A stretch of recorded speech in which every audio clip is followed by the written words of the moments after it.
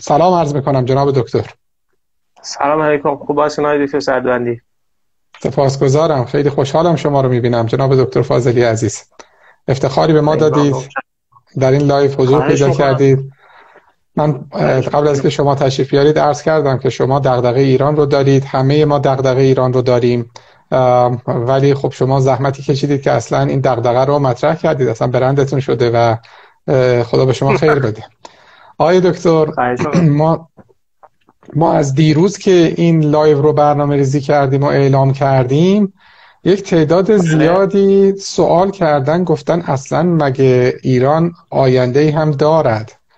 حالا من که فکر می‌کنم که باید تلاشمون رو بکنیم که داشته باشیم. دقت میفرمایید. حالا من اگر صلاح می‌دونید شما شروع بفرمایید. بعد من توضیحی میدم که ما چه فکر می‌کردیم چه شد. در طی این ده 15 سال گذشته به کجا رسیدیم؟ آیندهمون چگونه خواهد بود؟ آلترناتیو ها و سناریوهای پشت جلوی رومون چه هست؟ مسیر گذشته چه بوده؟ اگر قبول زحمت بفرمایید و آغاز بفرمایید من هم در خدمتتون هستم. خواهش می‌کنم. بسم الله الرحمن الرحیم. ببینید ما برای اینکه درباره آینده ایران گفتگو بکنیم من حقیقتش که دلایلی که پذیرفتم و استقبال کردم از این که در این لایو باشم اینه که مدت های چارچوب نظری رو حالا توسعه داده بودم برای فهم آینده ایران و اینکه در آینده چه اتفاقاتی خواهد افتاد.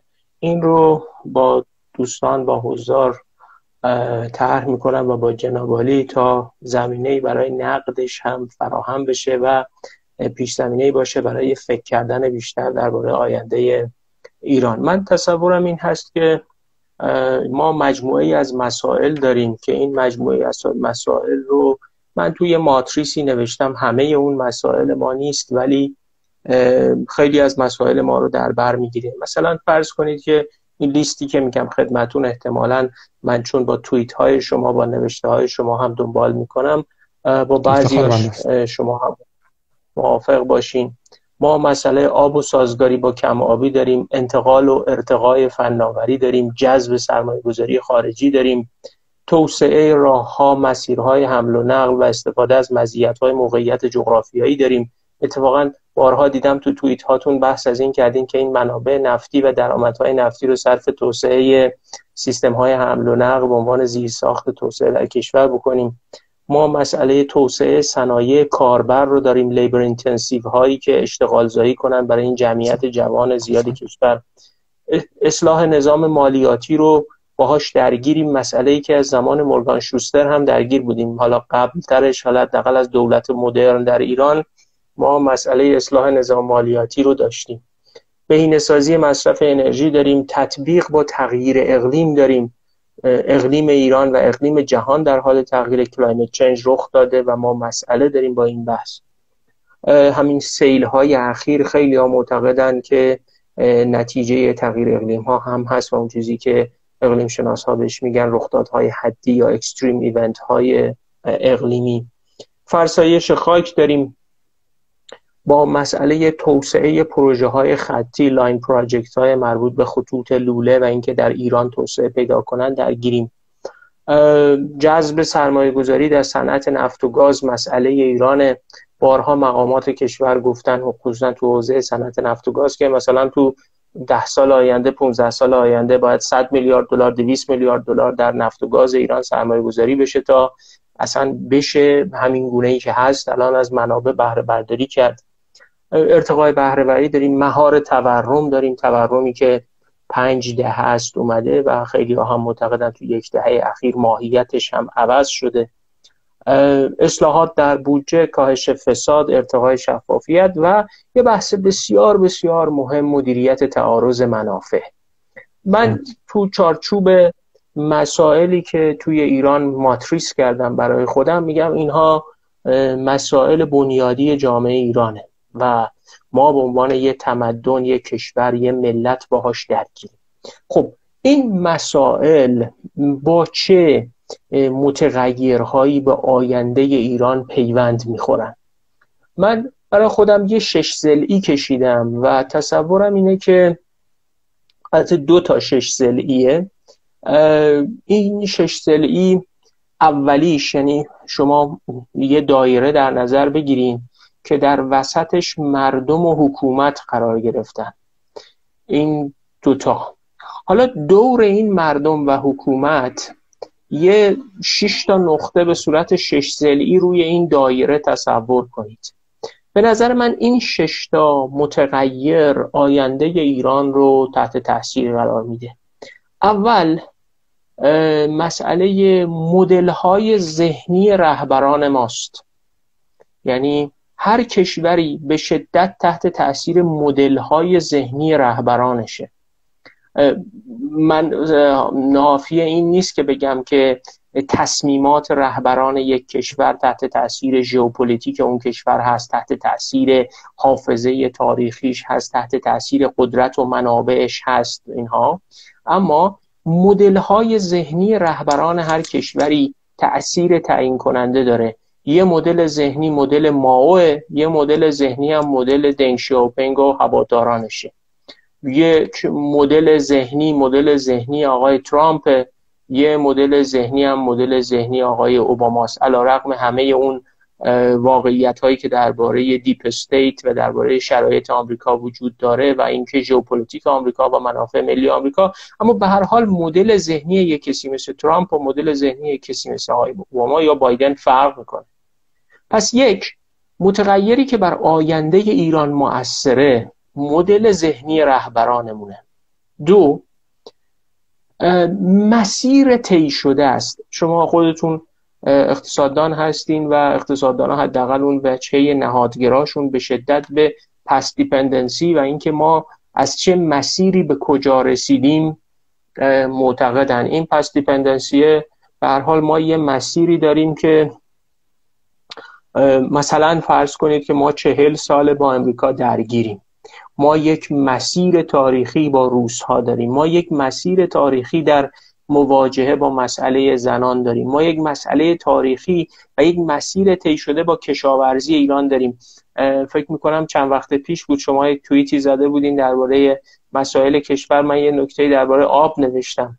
بعد نوشتین که من یه چکی کردم بیاین تقسیم کار کنیم. شما درباره آب بگو من درباره پول و آره. بانک و تامین مالی و اینها. فکر می‌کنم شما هم وقتی چک کردین دیدین مسئله عمیقتر از این حرف که بشه فقط مثلا صداش ما خب یه مسیر طی شده تو آب داریم. اینجوری نیست که مثلا امروز بخوایم تاریخ مسئله آب رو حل کنیم بتونیم اون مطول تاریخ هفتاد ساله آبمون رو نادیده بگیریم. متغیر سومی که بر آینده ایران تاثیر می‌ذاره و به شدت اثر می‌ذاره ظرفیت حکومته. ببینید من بارها درباره ظرفیت حکومت نوشتم گفتگو کردم. فصلایی از پادکست دغدغه ایران رو به طور مشخص فصل سومش رو اختصاص دادم به بررسی ظرفیت حکومت در ایران به روایت خارجی هایی که در ایران کار کرده بودن. و اتفاقا هدفم این بود نشون بدم که ما عصر قاجارم یه مشکلاتی داشتیم که هنوز حل نشده. مثلا من وقتی میرم ببینم که مورگان شوسترم آرزوش این بود که درآمدهای دولت ایران رو متمرکز بکنه در یک حساب در یک حساب. و دولت ایران در برنامه ششم هم تکلیف کرده که درآمدهای همه دستگاه ها متمرکز بشه در یک حساب. و هنوز هم نشده.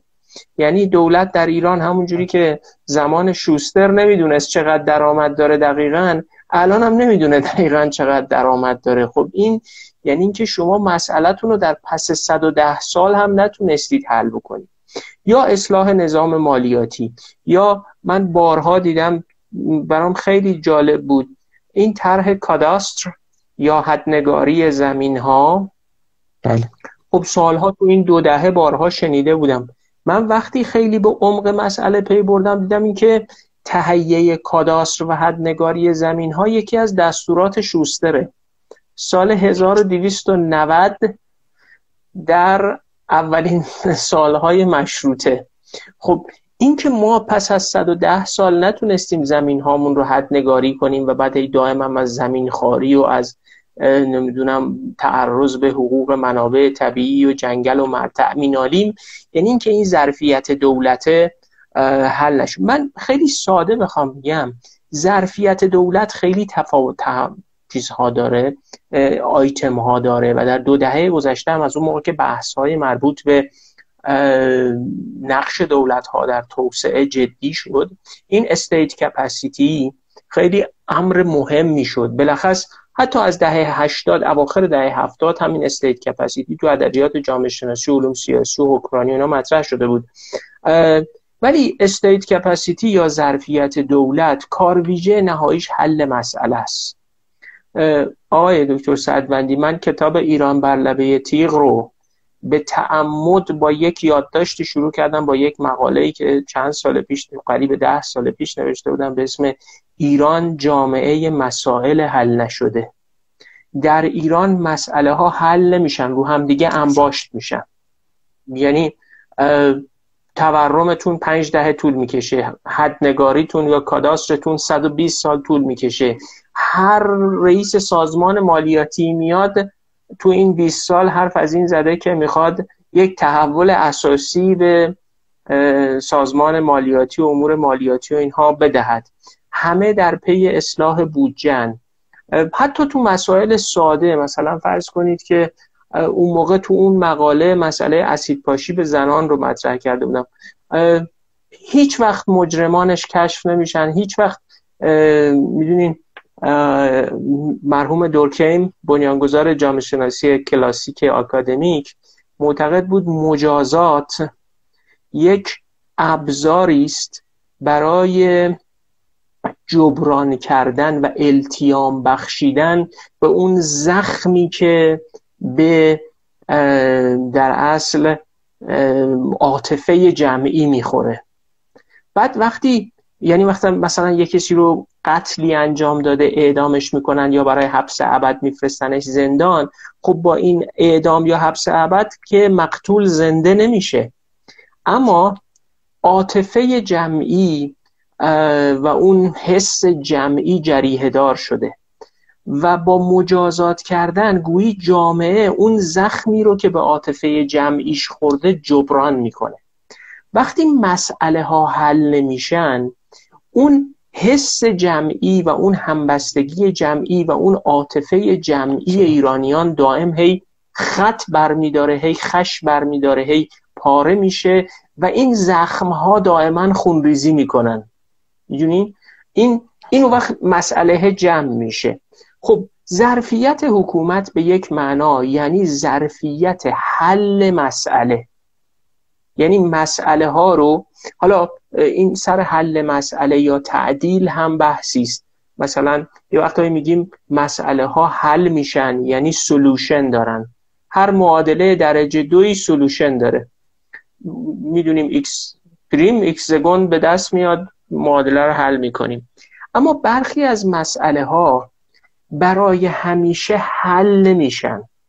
مثلا فرض کنید که آقای دکتر صدبندی می‌تونه بگه که در دنیای اقتصاد تورم برای همیشه حل نمیشه. یعنی اینجوری نیست که در تاریخ آمریکا بگن برای یک بار برای همیشه تورم رو کردیم سه درصد و دیگه هیچ وقت از این بالاتر نمیره. بالاخره اقتصادها بالا پایین میرن و و این تورم الان دوباره در اقتصاد آمریکا مثلا حالا به هر دلیلی که در توانایی دانش من نیست داره بالا میره یا پایین میاد یا هر چیزی. بیکاری در کشورها یه موقعی بالا میره یه موقعی میاد پایین. به این جور مسائل که مسئلهشون برای ابد حل نمیشن میگن اینا solution ندارن resolution دارن تعدیل میشن.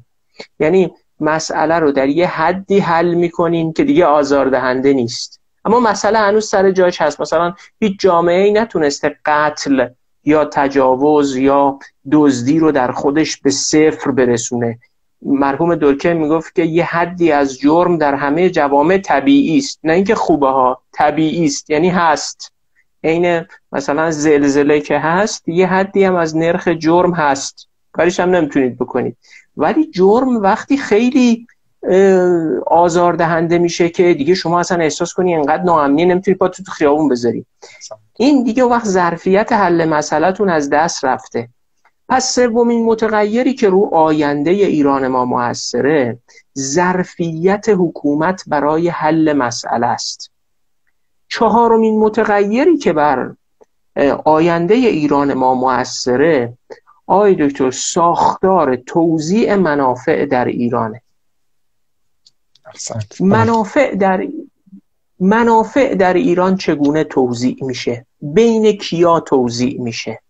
بین فرادستان بین فرودستان بین بروکرات های دولتی با مثلا غیر بروکرات ها بین نظامیان و غیر نظامیان بین اصلاحگرایان و اصلاح طلبا و اصولگرایان بین کی؟ یعنی این ساختار توزیع منافع یکیش اینه که طبق چه قواعدی توزیع میشه؟ مثلا این منافع بر اساس تخصیص رانت ارز تقسیم میشه یا بر اساس ارتقای بهرهوری یا بر اساس قارت منابع طبیعی یا بر اساس رقابت پذیری و صادرات در بازارهای جهانی. این این ساختار توزیع منافع چگونه است؟ دو به کیا می‌رسه؟ یعنی فقط به فرادستان می‌رسه و دائم این نابرابری گسترش پیدا می‌کنه؟ یا نه؟ تحت تاثیر اون ظرفیت حکومت و مدل های ذهنی رهبران ما که تغییر می‌کنه ساختار توزیع منافع هم عوض میشه. بالاخره چین دنگ شیاوپنگ یک زمانی تصمیم گرفته ساختار توزیع منافعش رو عوض بکنه. همین که شما به کشاورزای چینی اجازه دادین شما خودت تصمیم بگیر تو زمینت می‌خوای چغندر بکاری یا اونی که کمیته مرکزی حزب میگه. این یعنی که ساختار توزیع منافع رو عوض کردیم همین که شما مثلا مدل تحریم یعنی تحریم رو کاری کردین حذف بشه یعنی ساختار توزیع منافع رو عوض کردین.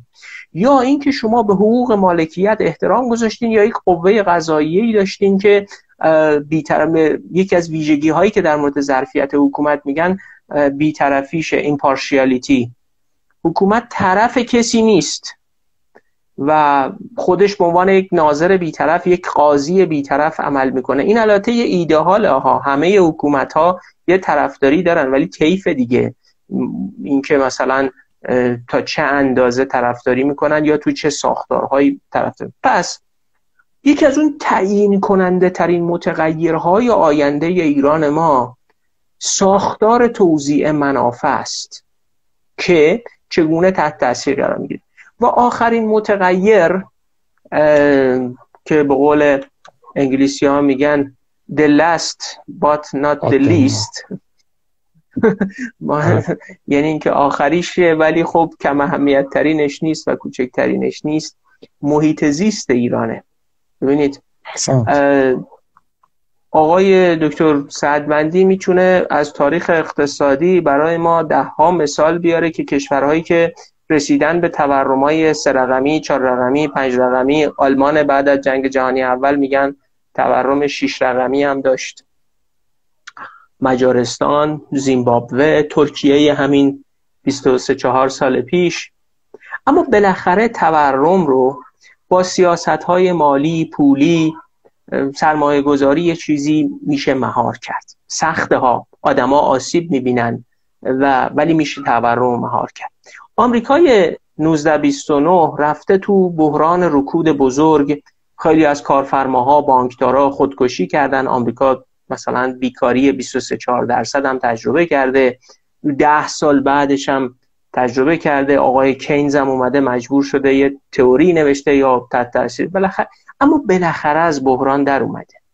اما آقای دکتر اگه محیط زیست یک کشوری از بین رفت اگه منابع آبش خشکید اگه آبخانهاش نابود شد اگه جنگلها و مراتعش بیابان شد اگه بیابانهاش چنان پوشش گیاهیش از بین رفت که طوفانهای ریزگرد نفس کشیدن رو ناممکن کرد به عبارتی ظرفیت زیست پذیری یک کشور اگه اومد پایین دیگه امکان نداره شما اونو احیا بکنید یا زندگی بکنید بنابراین متغیر بنیادی و خوشبختانه یا بدبختانه انسان ها هم موجودات مادی هن. روح که نیستن غذا می‌خورن احتیاج به اکسیژن دارن.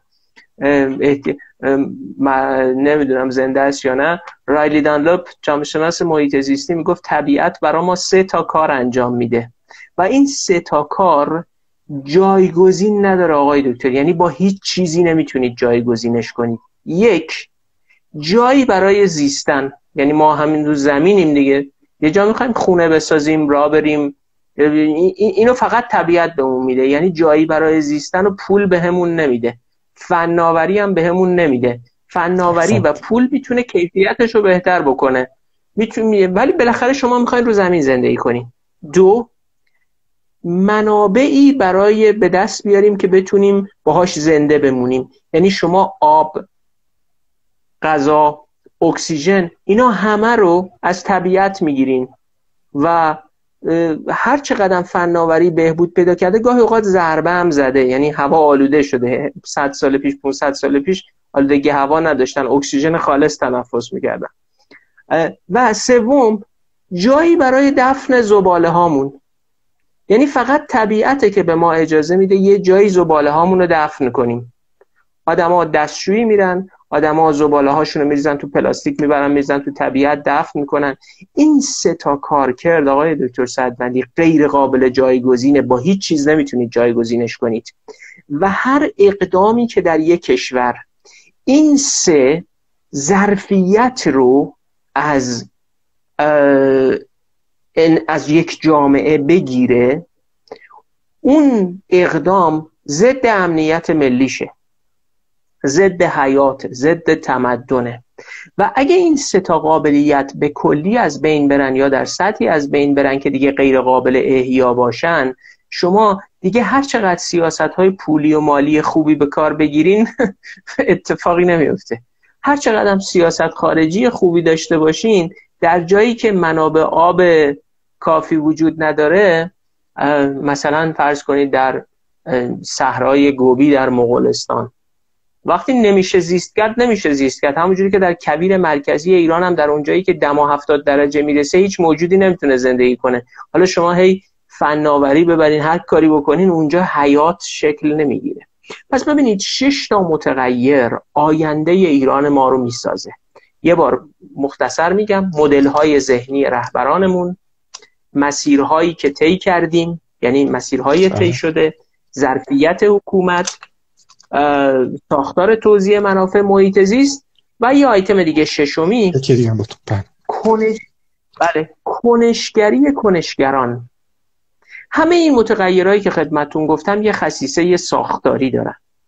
اما یه چیزی هست به نام کنشگری کنشگران که بر هر ششتای اینها اثر می‌ذاره. ببینید ظرفیت حکومت چگونه باید تغییر کنه؟ من میپذیرم که ظرفیت حکومت تحت تاثیر متغیرهای بین المللی هم هست که خیلی از اون متغیرها دست ما نیست. یعنی اینکه روسیه به اوکراین حمله بکنه یا نکنه دست ما نبوده. ولی این اتفاق که افتاده رو ما اثر گذاشته. پس این متغیر ساختاریه. اما کنشگری کنشگران ما اینکه رهبران ما در ماجرای روسیه و اوکراین چگونه عمل بکنن اینکه به کنشگری رهبران ما زیاد بستگی داره. اینکه ما یک مسیر طی شده داریم از عصر صفوی تا به امروز و نظام مالیاتی ما یه جوری شکل گرفته با یه پیچیدگی هایی این ساختاریه.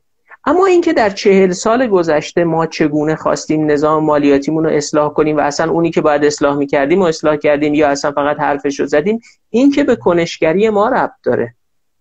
اینکه احزاب ما چه کاری بکنن به کنشگری ما ربط داره. همین که من فاضلی و دکتر علی سعدوندی نشستیم روبروی همدیگه داریم حرف می‌زنیم اینم کنشگریه. و اینکه تو این لحظه هم 1034 نفر دارن این گفتگوی ما رو می‌بینن اینم کنشگری است. و بالاخره مردم ایران در این تابستان در این بهار گذشته یک کنشگری گسترده ای انجام دادن تا یک پتروشیمی زیانآور در میانکاله ساخته نشه. و این کنشگری موثر بوده و بنا به گفته های رئیس سازمان حفاظت محیط زیست پرونده این پتروشیمی بسته شده. حالا ما اگه کنشگری نکرده بودیم ساکت نشسته بودیم خب ساخته می‌شد دیگه. مثل همه اون سالایی که در کبیر فولاد ساختن در بدترین جاهای ممکن سازه های آبی ساختن اینا کنه پس شش متغیر بر آینده ایران ما موثره. اما این شش متغیر آقای دکتر در بستر جهان اثر می‌کنن. اون بسترم از نظر من خودش شش سلیه که اون شش ای رو هم اینجوری توضیح میدم. اون شش ای شامل رابطه که ما با این عناصر برقرار می‌کنیم یا نوع تعاملی است که ما با این کشورها خواهیم داشت. یک آمریکا. بخوایم نخواهیم دوست داشته باشیم نداشته باشیم ضد آمریکا باشیم نباشیم بهمون بگن غرب گدا نمی‌دونم غربگرا هرچی از این ناسزاها یا واجه هایی که در فضای مجازی استفاده میشه. آمریکایی ها بر امنیت ملی ایران بر آینده اقتصادی ایران موثرند به هر حال هنوز بزرگترین اقتصاد دنیا هن، بزرگترین نیروی نظامی هن، بزرگترین قدرت سیاسی دنیا هستند و این اتفاق. دو چین. ما چین حراس باشیم یا نباشیم هر کاری انجام بدیم یا ندیم چینی ها یک وزنه در قدرت اقتصادی بین هستند و حتی خیلی ها استدلالشون اینه که حتی پرونده تحریم های ایران بخشی از امروز دیگه بخشی از پرونده مقابله آمریکا با چینه. یعنی ایران رو نمیشه از جدایی از پرونده آمریکا و چین تحلیل کرد. پس چینی ها هم تو این آینده ما مؤثرن سه روسیه است. ما قرن هاست تحت تاثیر روس ها هستیم. تو دنیای مدرن تو سی سال گذشته بیشتر. و بخوایم یا نخوایم همزیستی در کنار یک قدرت اتمی و در کنار یک قدرت ژئوپلیتیک با و از حالا بخت بد ما در تقابل اینکه ما هم یه چیزی صادر می‌کنیم که اونا خودشون صادر کننده همون هستن انرژی. و یکی از دوستان یکی از تحلیلگرا استدلال کرده بود که روسا خیلی از اینکه خیلی به اینکه در آینده یک قول فناوری بشن یا یک قول اقتصادی ناشی از بهره بشن امید ندارن. بیشتر دارن تبدیل میشن به یک قول خام. قول خام یعنی صادر کننده مواد خام. ما هم که از بخت بعد یه قول حالا یه نیمچه قول مثلا صادر کننده مس و روی و انرژی و اینا هستیم. خب دو تا رقیب کنار هم می‌خوان زیست کنن. ما چاره غیر از این نداریم که با اینها زیست کنیم. متغیر چهارم اتحادیه اروپا است و روابط ما با اتحادیه اروپا و تعریفی که ما از تعاملمون با اتحادیه اروپا داریم ببینید اینها رو وقتی میگم من برام کلا در این جهان یه مسئله بیشتر وجود نداره اونم ایرانه. کار به اخلاق نداره ما من به لحاظ اخلاقی انسانی هستم که دوست دارم خون از دماغ یه نفرم تو دنیا نیاد. دلم با حال نهنگای اقیانوس هم میسوزه. برای پانده های چین هم نگرانم. یعنی اگه یه شرایطی بشه که اونا هم زنده بمونن زیست خوبی داشته باشن اما اولویت اولا مسئله ایرانه. بنابراین وقتی از چین یا از آمریکا یا از اتحادیه اروپا یا از روسیه حرف می‌زنم به واسطه تأثیریه که اینها بر ما دارن و اثر می‌گذارن. مسئله بعدی که بر ما اثر می‌ذاره آقای دکتر کشورهای منطقه است. خوشمون بیاد یا نیاد ما در جایی زندگی می‌کنیم که عربستان یک پایه قدرت منطقه است.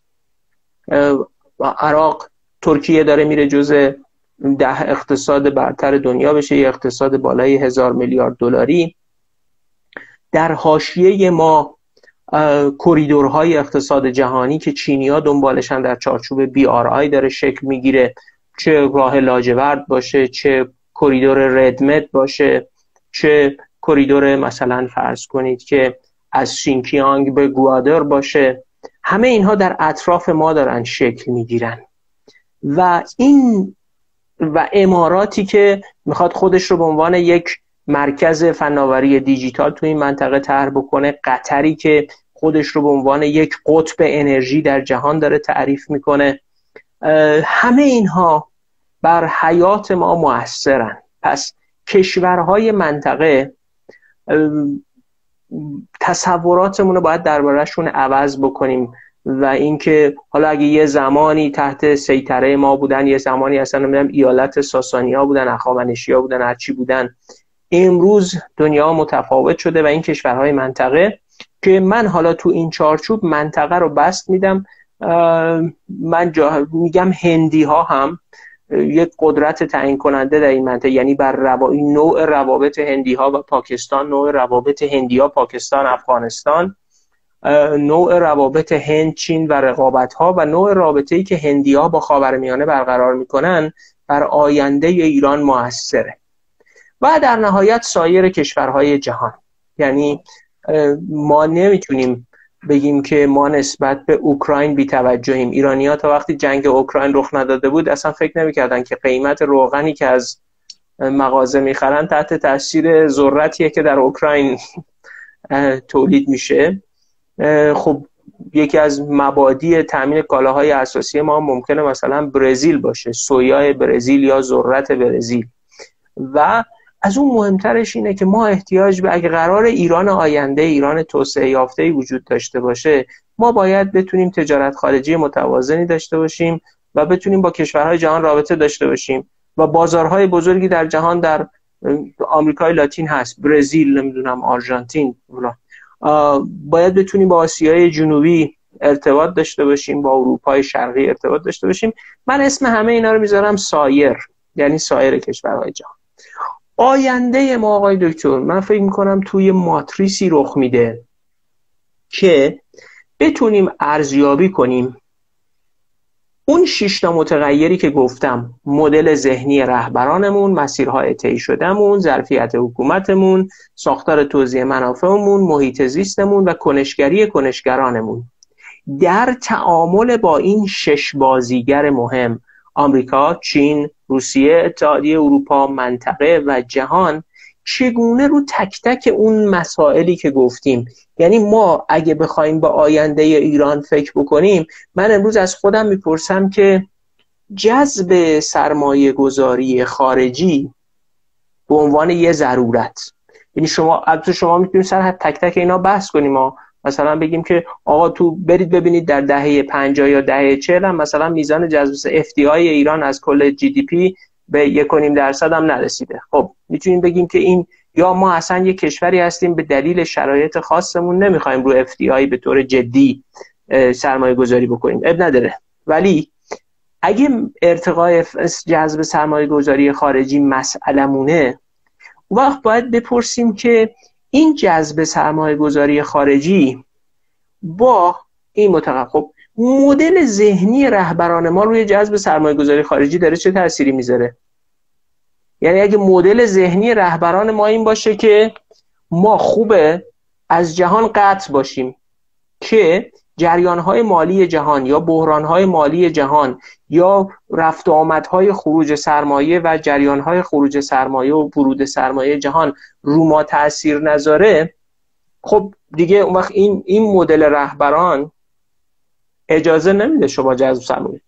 یا اگه شما ظرفیت حکومتتون تو نظام مالیاتیتون یا نظام غذاییتون یعنی شما سرمایه خارجی بیاد تو ایران بعد وقتی می‌خواد شکایت بکنه یه پرونده قضایی تشکیل بده بگیم خب ما با قواعد قضایی خودمون اینو یه مدلی بررسی می‌کنیم که شما اصلا اون نمیاد اصلا.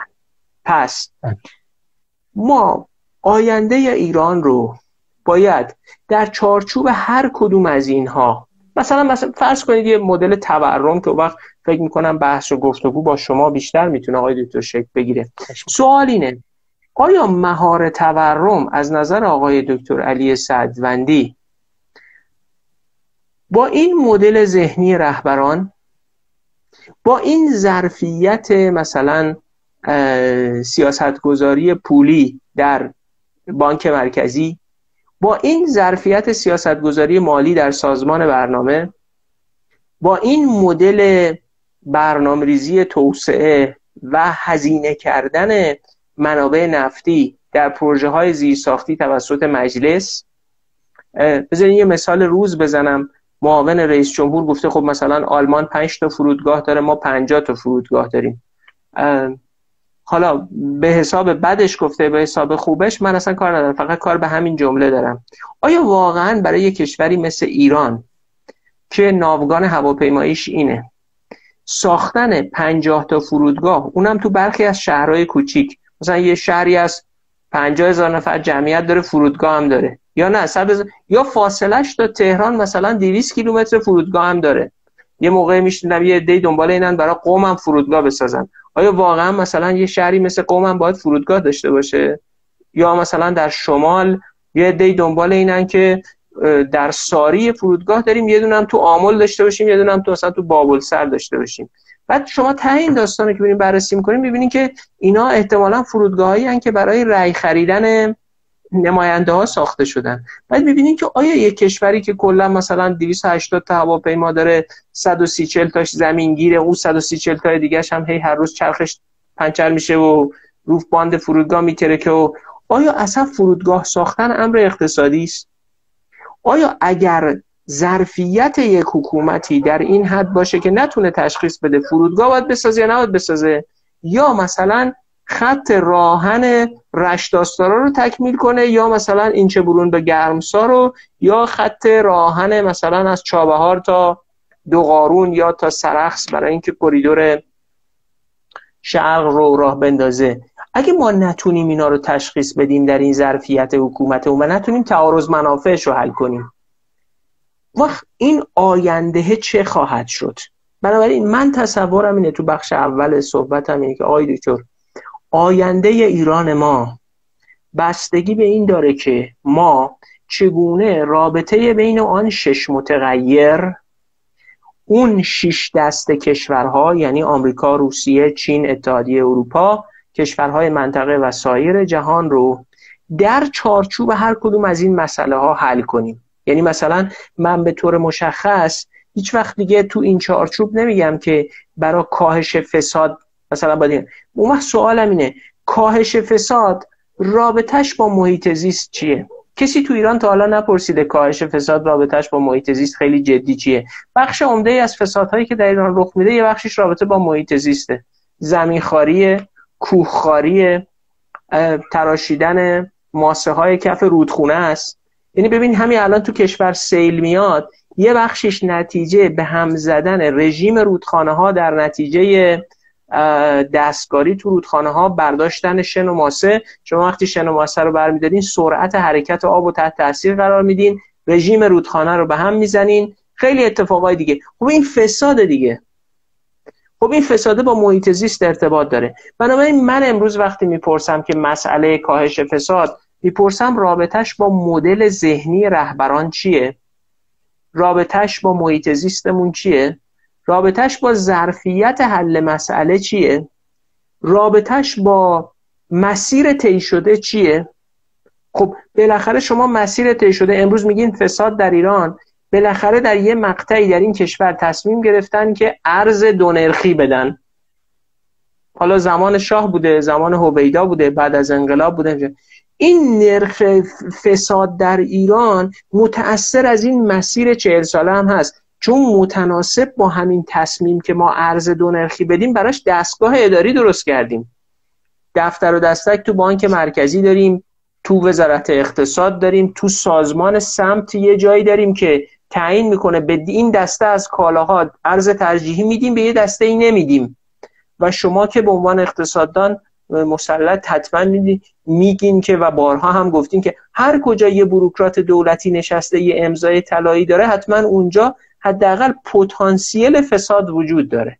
خب؟ پس شما اگه امروز با فساد مبارزه کنین نمی‌تونین از این مسیر طی شده چهل پنجاه شست ساله شکلگیری ارز دو نرخی یا چند نرخی جدا بشین که باید این مسیر طی شدهش رو بررسی بکنین و کنشگری کنشگران.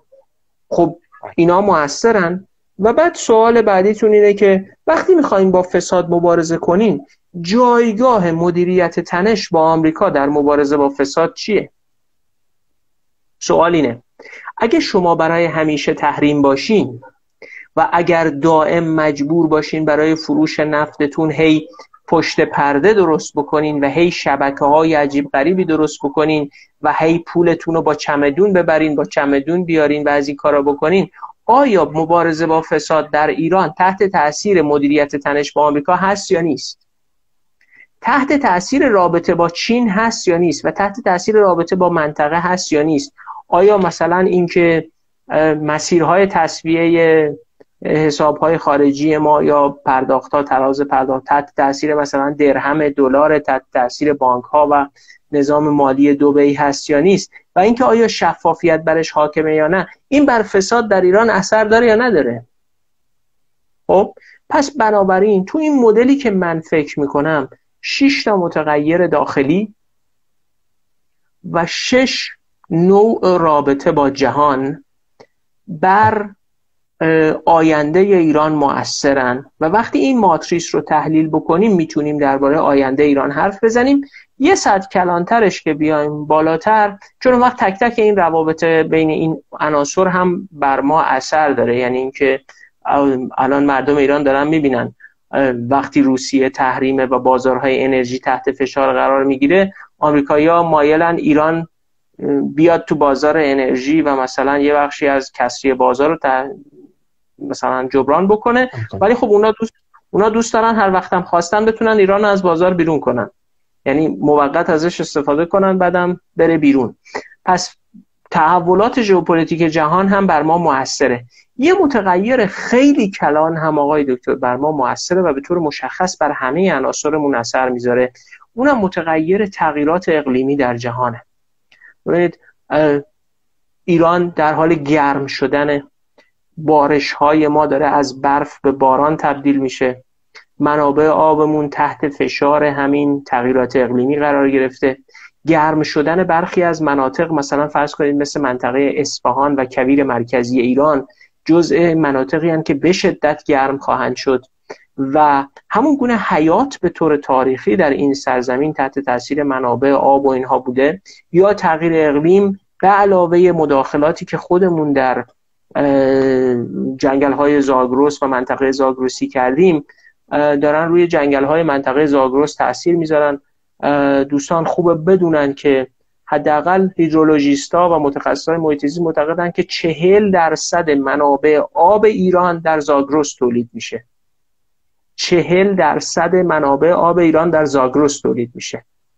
و وقتی جنگل های زاگرس از بین میرن ظرفیت این تولید آب تضعیف میشه. و وقتی جنگل های زاگرس از دست میرن ظرفیت این طوفان های گرد و غبار و اینها هم به شدت تقویت میشه. پس ما غیر از اون متغیرهای رابطه با کشورها و اینها به شدت تحت تاثیر تغییر اقلیم هم قرار می‌گیریم. رخدادهای حدی افزایش پیدا می‌کنن.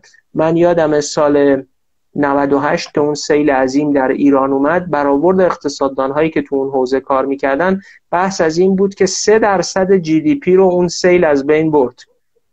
خب حالا اگه قرار باشه هر چند سال یه بار یه سیل بیاد 3 درصد GDP رو از بین ببره یعنی شما 3 درصد باید رشد اقتصادیتون از هر چند سال یه بار از دست بدین. خب این, این که یا مثلا این منابع آب به شدت یا اینو بگم تا اهمیت داستان روشن بشه. میگن ایران می‌خواد یک اقتصاد هزار میلیارد دلاری بشه. فرض می‌کنیم که این محاسبات بانک جهانی و IMF و اینا که میگن جی دی پی ایران اومده رو 200 میلیارد دلار و اینا اینا هیچ همون رقم حدود 400 میلیارد دلار قبلی رو میپذیریم. وقتی ایران اگه قرار یک اقتصاد هزار میلیارد دلاری بشه یعنی می‌خواد دو نیم برابر افزایش پیدا کنه. اگه قرار باشه ما با همین نرخی که الان آب مصرف می‌کنیم یعنی آب مصرف می‌کنیم 400 میلیارد دلار جی دی پی داریم. حالا اگه قرار باشه دو نیم برابر بیشتر آب مصرف کنیم که اصلا ناممکنه چون ما همین الان هم داریم 100 میلیارد متر مکعب آب مصرف می‌کنیم. کل آب تجدید پذیرمون یه چیزی حدود همین 100 میلیارد متر مکعبه. یعنی برای دو نیم برابر شدن ما باید 250 میلیارد متر مکعب آب مصرف کنیم. این این اصلا ناممکنه. بنابراین این مقوله تغییر اقلیم و مقوله اصلاحات محیط زیستی کاهش آببری اینها به همین خاطره که در یک کلان استراتژی که من تو ایدی توییت زدم پرسیدم ایران 1500 به نظرتون چه شکلیه؟ این این سوال شوخی نیست. تو مقیاس تاریخ 100 سال به سرعت میگذره. ما به سرعت 100 سال گذشته از مشروطه رسیدیم. به اینجا درسته. من اون روز حتما زنده نخواهم بود و این جمع حاضر انشالله زنده اما اما ما وظیفه داریم به 100 سال بعدمون فکر کنیم. آیا ما می‌خوایم 100 سال بعد با همین مدل تو حتی 100 سال آینده؟ حالا گذشته از اینکه یه دوستی می‌گفت که حالا تو 1500 رو ول کن بگو 1405 ما چه شکلی هستیم. یعنی یه تصویری از 1405 داریم یا نه؟ شاید هم او راست میگه. اول باید تصویر 1405 رو داشته باشیم تا بعد 410 تا 415 تا برسیم به 1500 اما به هر حال مقوله تغییر اقلیم به شدت بر ایران ما موثر خواهد بود. به شدت. بالاخص از مسیر منابع آب و تأثیری که به واسطه منابع آب روی جنگل ها مراتع ظرفیت های کشاورزی و تأمین خوراک و غذا می‌گذاره و مقوله امنیت غذایی در ایران رو تحت تاثیر قرار میده. عذرخواهی می‌کنم. من زیاد آقای دکتر واقعا یک کلاس درسی بود. واقعا من آموختم. من هم سعی می‌کنم متواضع باشم. یک جایی متواضع نیستم. یعنی وقتی خدمت شما عرض می‌کنم آموختم واقعا آموختم. وگرنه این لفظ من لااقل در این چهار سالی که در ایران بودم کم به کار بردم. کم شده که در محضری باشم که احساس کنم که چقدر همسویی وجود داره چقدر در واقع آموزش وجود داره و همین که فقط 1200 نفر حضورن در لایو حضور پیدا می‌کنن و تعداد خیلی بیشتری البته اومدند و بالاخره مدتی بودند و رفتند. این نشون میده که واقعا مطالبی را که شما فرمودید مطالب به جامعه هست. مطالب خیلی مهمی است که باید بهش توجه بشه. من چند مورد رو می‌خواستم خدمتتون عرض کنم. یکی این که ما دیروز این وقتی که تبلیغ این لایو رو گذاشتیم یک تعداد زیادی از دوستان زیر تبلیغ ما شاید در پیج شما اینطور بوده نوشته بودن که آیا مگر ایران آینده هم دارد؟ دقت میفرمایید. و من اولین سوالی خدمتتون مطرح کردم همین بود که آیا واقعا ایران آینده هم دارد یا ندارد. و من خیلی راحت خدمت شما ارز کنم که البته برای اینکه بحث به تعادل برسه من جنبه های مثبتی هم که کشور ما داره باید خدمتتون ارز کنم. یعنی پتانسیل ها و قابلیت هم که داریم باید ارز کنم خدمتتون ولی مطمئن نیستم ایران آینده ای داشته باشد. فکر می‌کنم شما شاید ندانید که من با اینکه من استاد بانکداری دانشگاه وولنگون بودم ده سال وی پی سیتی بانک بودم ولی من تز دکترام رو یک موضوع کاملا علمی نوشتم در زمینه تئوری رشد و توسعه و مدل های ریاضی علمی ایجاد کردم و هدف فقط و فقط و فقط ایران بود. یعنی تز من یک تز کاملا بین المللی اصلا شما نمی‌تونید فقط یک بار فکر می‌کنم در یکی از مقالات اسم ایران اومده ولی فقط و فقط و فقط و متاسفانه اون چیزی که در اون زمان انگیزه من شد و پیش بینی می‌کردم اتفاق بیفته بدون کوچکترین وقفه متاسفانه مسائل اتفاق افتاده. یعنی من برداشتم این بود که خدایی نکرده ممکنه ایران به سرنوشت شوروی سابق در واقع دچار بشه. دقت میفرمایید. و البته پیش بینی بسیاری در جهان عکس این بود. یعنی پیش بینی بسیاری در جهان. من مثال می‌زنم خدمت شما. من زمانی که امریکا بودن روزی شبکه سی رو داشتم مشاهده می‌کردم. یک کسی سوال کرد که نظر شما در مورد ایران چیه؟ و اسپیکر اون فردی که صحبت می‌کرد و در اون جمع حضور داشت گفت که من باورم این هست که هر دولتی که در ایران بعد از سال 2010 روی کار بیاید نه فقط ما همه جهان موظفند و چاره دیگری ندارند مگر اینکه با این دولت رابطه برقرار کنند. این برداشتی بوده که نسبت به ایران وجود داشت. جناب دکتر من قبول دارم که ضعف ها خیلی شدید بوده. اما یک نکته هم خدمتتون عرض کنم. البته اینی که خدمتتون عرض می‌کنم بعدا فاجعه امروز رو واقعا حتی عمقش رو بیشتر می‌کنه نه اینکه کمتر کنه. 1980 شاخص HDI به وجود آمده. ما در یکی از سه زیر شاخه HDI یعنی در زمینه رشد تولید ناخالص ملی اصلا وضعیت مناسبی هم نداشتیم. از 1980 تا سال هزار تا سال 2010 تقریبا کشور ایران از نظر رشد شاخص اشتیا کشور اول دنیا بوده. در کشور اول دنیا.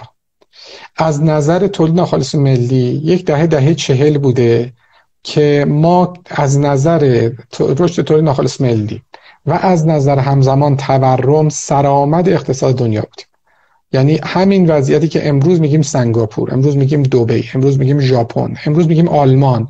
یک روزی می‌گفتن ایران. یک روزی وقتی پلنگ صورتی دیده بود پینک پنتر که برای بچگی ما خیلی نوستالژیک هست. این یه وقتی می‌خواست بره مسافرت زده بود یه فلز زده بود ایران. داشت می‌رفت ایران. یعنی برای مسافرت مثلا من حتی یک هم یک زمانی داشتم در امریکا وقتی دانشجو بودم. این پسر سفیر یوگسلاوی در ایران بود. و ایشون به من گفت گفت که اصلا این کشوری که شما داشتی اصلا با هیچ جای دنیا قابل مقایسه نبود. بعد ایشون هنوز یادش بود به درستی. می‌گفت اون بلوار الیزابت منظورش بلوار کشاورز بود. اون بلوار الیزابت رو مگه کسی در جهان دیده مگر کسی داره اصلا؟ یا همین تهرانی که ما الان درش هستیم که آبش خرابه هواش خرابه ترافیکش مشکل داره زندگی بسیار سخت بی تدبیری از بالا و پایین میباره. یک زمانی مایه مباهات بوده. دوره دوم بوده. دوره دوم دوره شاید شما بازم براتون جالب باشه. من در بانک بودم. یک روزی برای خودم همینجوری فکر کردم که عملکرد دولت اصلاحات چگونه بود. و هشت سال دولت اصلاحات رو من اومدم در کل جهان کشورهای جهان رو اون هشت سال این رو اینو شما من که ارتباط ندارم که شما که ممکنه با رئیس دولت اصلاحات ارتباط داشته از ایشون بپرسیم این اصلا خودش اطلاع داره؟ آخه ما اینقدر در ندانستن به سر می‌بریم. خود ایشون معاونشون معاون اولشون اطلاع دارند که مثلا یک چنین وضعیتی بوده. من من رنگ کردم کشورهای جهان رو بر اساس رشد اقتصادی انباشته هشت ساله دقت فرمودید از اول از بالا تا پایین. سه چهار تا کشور بودند که اینها وضعیت اقتصادی خیلی نامطلوبی داشتن قیمت نفت افزایش پیدا کرده و قیمت گاز افزایش پیدا کرده بود. اینها بالا اومده بودن. اینها رو باید استثنا می‌کردیم. به طور مشخص سه کشور خاطرم هست. کشور قطر بود کشور ترکمنستان و کشور آذربایجان. جهت اطلاع شما بعد از چین ایران از نظر رشد اقتصادی 8 ساله کشور دوم بود. کشور دوم بود. دقت می‌فرمایید. فکر نمی کنم خود رئیسشون رئیس جمهور اون زمان اطلاع داشته باشه. خب ما بعدا ندیدمشون. اگه ببینم بهشون میگم. حالا بفرمایید شما برها از ما نزدیکترین. ما می‌تونم ببینمش ولی من در دوازده سال از نزدیک ندیدمشون. ولی برداشتم اینه که اطلاع ندارند و البته یک دلیلی که به نظر من پیشرفت کرد این بود که الان اقتصاد در اولویت نیست اون زمان هم در اولویت نبود. ولی اون زمان اجازه داده شد که یک مقداری افراد مدیران شاید یک مقدار جو و متفاوت بود. مدیری که اون زمان من می‌دیدم داره با دل و جان برای ایران کار می‌کنه یک زمانی هم دیدم با دل و جان داره برای خانواده خودش کار می‌کنه برای منافع شخصی خودش کار می‌کنه. خب این تغییر تغییر و تحول درونی که اتفاق افتاده در ذهن افراد متاسفانه وضعیت مناسبی نبوده. اما اینو می‌خوام خدمتتون عرض کنم. ببینید رشد شاخص اشتیای از, از سال 2010 متوقف میشه. دقت میفرمایید. بعضی از افراد ادعا می‌کنند از کمی شاید بشه بهش اعتنا کرد و به نظر من در ابتدای کار کاملا توجیه داشته که ما از نظر رشد تولید علم خیلی وضعیت خوبی داشتیم. این البته اسمش تولید علم نیست من تولید کیلویی علم بوده ولی در ابتدای کار شما در هر زمینه شما وقتی می‌خوای production داشته باشی می‌خوای خط تولید داشته باشی می‌خوای تغییر به وجود بیاری اول mass production باید ایجاد کنی. همین کشور چین ده سال پیش اتومبیلشو خودشون هم نمیخریدن. من سال پیش رفتم امارات گفتن صف کشیدند اماراتی که خیلی سخت گیرن سخت پسندن در خودرو. یعنی بهترین خودروی دنیا رو می‌خرن. صف کشیدن شش ماه صفه برای خودروی چینی یه خودروی four wheel drive چینی. دقت میفرمایید. خودشون خودرو خودشون نمیخریدن. من من خودم باشون در ارتباط بودم نمیخریدن یعنی من باشون صحبت کردم گفتن ما مثلا رفتیم خودروی DS مثلا فرانسوی رو خریدیم مثلا خودروی چینی نخریدیم. خب ببینید یک mass نبود. نه نبود. ولی الان هست. یک mass production اتفاق افتاده. mass production اتفاق افتاده. بعد از ده سال تبدیل شده به اینکه خودرو پیشرفت کنه موبایل پیشرفت کنه. کره جنوبی هم همینطور بوده. ژاپن هم همینطور بوده. وقتی آشغال کیلویی کیلویی ساعت میفروختن. ساعت مچی رو کیلویی میفروخت ژاپن. دقت میفرمایید. بعد مرتب پیشرفت کرد پیشرفت کمی داشت. از پیشرفت کیف از پیشرفت کمی رفت به سمت پیشرفت کیفی. دقت میفرمایید. و این نقطه اساسی یک روزی وقتی که اون وقت یک لحظه است که در ذهن افراد ایجاد میشه. لحظه وجود داره که تک تک افراد جامعه از پیشرفت کمی به سمت پیشرفت کیفی می‌روند. و برداشت این بود که در دهه 1370 شمسی که جامعه ایرانی از پیشرفت کمی رفت به سمت پیشرفت کیفی. چرا اینجور برداشتی رو اقتصاددانان کارشناسان توسعه در دنیا بهش رسیده بودند چون fertility rate یا نرخ زاد و ولد به شدت کاهش پیدا کرد. این کاهش نرخ کاهش شدید نرخ زاد و ولد که بعد از افزایش نرخ زاد و ولد بوده. ما یکی از معدود کشورهای جهان بودیم که قانون گذار جمعیتی رو شکستیم. یعنی بعد از انقلاب وقتی نرخ نرخ زاد ولد قبل از انقلاب رو کاهش بود بعد از انقلاب افزایش پیدا کرد تا سال 1965 66 بعد به شدت کاهش پیدا کرد. این پنجره جمعیتی رو به روی ما گشود. برداشت اینه که کشوری وارد گذار جمعیتی نمیشه وارد پنجره جمعیتی نمیشه مگر اینکه تک تک آهاد اون کشور به این نتیجه برسند که کیفیت رو جایگزین کمیت بکنند. این میگن مهمترین شاخصه. دو تا شاخصه شاید بگیم برای آینده اقتصاد یک کشور که می‌تونه تغییرات عمده به وجود بیاره. در ادبیات توسعه اقتصادی خدمتون عرض می‌کنم. دو دو تا شاخص هست که می‌تونه در آینده 40 سال 50 ساله کشور رو پیش بینی بکنه. یکی یکی مسائل جمعیتی است. تشکیل خانواده است. بچه دار این که یک فردی تصمیم می‌گیره پدر مادری تصمیم می‌گیرن فرزندی رو بیارن یعنی برای 80 سال آینده اون کشور یا 80 سال آینده خودشون دارن تصمیم می‌گیرن که شاید خیلی هم روش فکر نکرده باشن. ولی این واقعیته یعنی تاثیر 80 ساله تاثیر 100 ساله می‌ذاره در سرنوشت اون افراد. دقت میفرمایید. و دیگری آموزش زنان هست. آموزش زنان در ادبیات اقتصادی خیلی روش کار شده. شاید احتمالا در جامعه شناسی هم روش کار شده باشه. ولی ولی آموزش زنان به این دلیل که به تجربه از روی در واقع تحقیقات کمی ما دریافتیم. وقتی مردان با سواد می‌شوند لزوما فرزندانشون با سواد نیستند. وقتی زنان باسواد می‌شوند لزوما فرزندانشون باسواد خواهند شد. بنابراین تفاوت کیفی وجود داره بین باسوادی مردان و باسوادی زنان. و شما مطلع هستید که قبل از انقلاب ما از نظر سواد بانوان در وضع بسیار نامطلوبی قرار داشتیم. من حتی آماری دیدم که 75 درصد زنان ایرانی در زمانی که انقلاب سال 57 انقلاب اسلامی به پیروزی رسیده 57 درصد زنان بی سواد بودند و الان از نظر دخترانی که در سنهای جوانی هستند از در سن مثلا 18 تا 23 سال دختر و پسرهایی که وارد دانشگاه میشن وضعیت بسیار مناسبی داریم. کمیت داره کیفیت نداره. تولید علممون کمیت داشت. امید من این بود که در دهه 1390 در دهه 1400 از کمیت به سمت کیفیت بریم. من نمی‌دونم چه اتفاقی در این کشور افتاد. همه چی متوقف شد. کامل متوقف شد. روند توسعه ایران که روند توسعه بسیار مناسبی بود. یکی قبل از انقلاب در دهه چهل یکی بعد از انقلاب قبل از 1390 از بعد از 1390 همه چی متوقف شد. در 1300 در دهه 1370 ما بین سی تا چهل درصد از تولید ناخالص ملیمونو با اینکه وضع, وضع درآمدی مردم هم مطلوب نبوده وضع درآمدی کشور هم مطلوب نبوده بعد از جنگ هم بوده صرف سرمایه گذاری می‌کردیم. saving ملیمون انقدر بالا بود. الان سه ساله به حدی رسیدیم که نسبت سرمایه گذاری کمتر از نرخ استهلاکه. دقت میفرمایید. اون تز دکترا که خدمت شما عرض کردم بنده روی برون رفت سرمایه یا مقدار استهلاک نوشتم.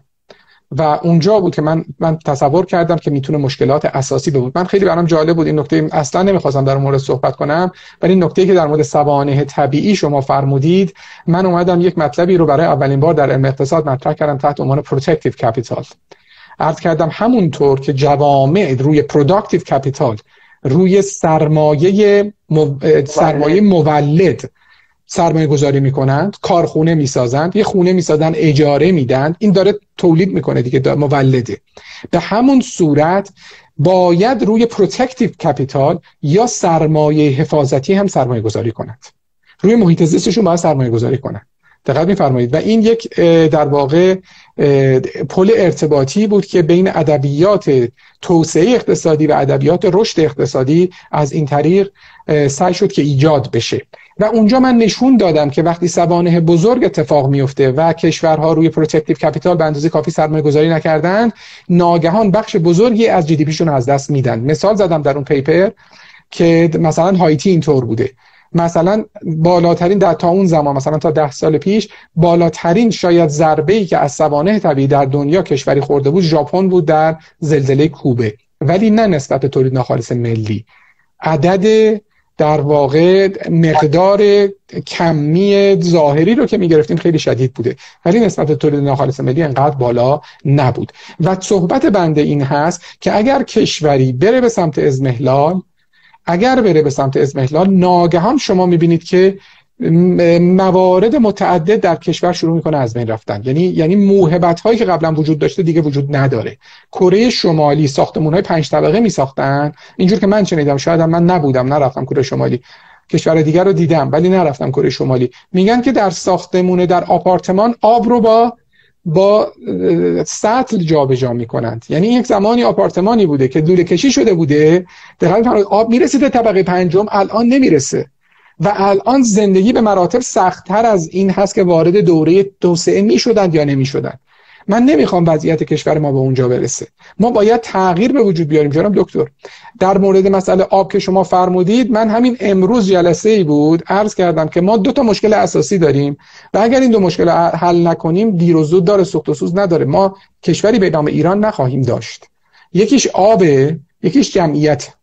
دقت میفرمایید. جمعیت الان پنجره جمعیتی ما ده سال باز شده. پیش بینی این بود که ایران حتی اگر تحریم بشه حتی اگر مشکلات جدی داشته باشه به دلیل قابلیت رشد در اونجا رشد اقتصادی دو رقمی داشته باشه. همونطور که چین داشت در زمان گذار در زمان پنجره جمعیتی. همونجور که ژاپن داشت در زمان پنجره جمعیتی. همینطور که کره جنوبی رشد اقتصادی خیلی بالا داشت وقتی پنجره جمعیتی باز شد.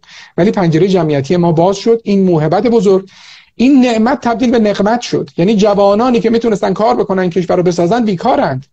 حتی در آمار بیکاری هم نیستند. این این بیکاری که در آمار بیکاری هم نیست یک فاجعه بزرگیه. هیچ امیدی به آینده ندارند.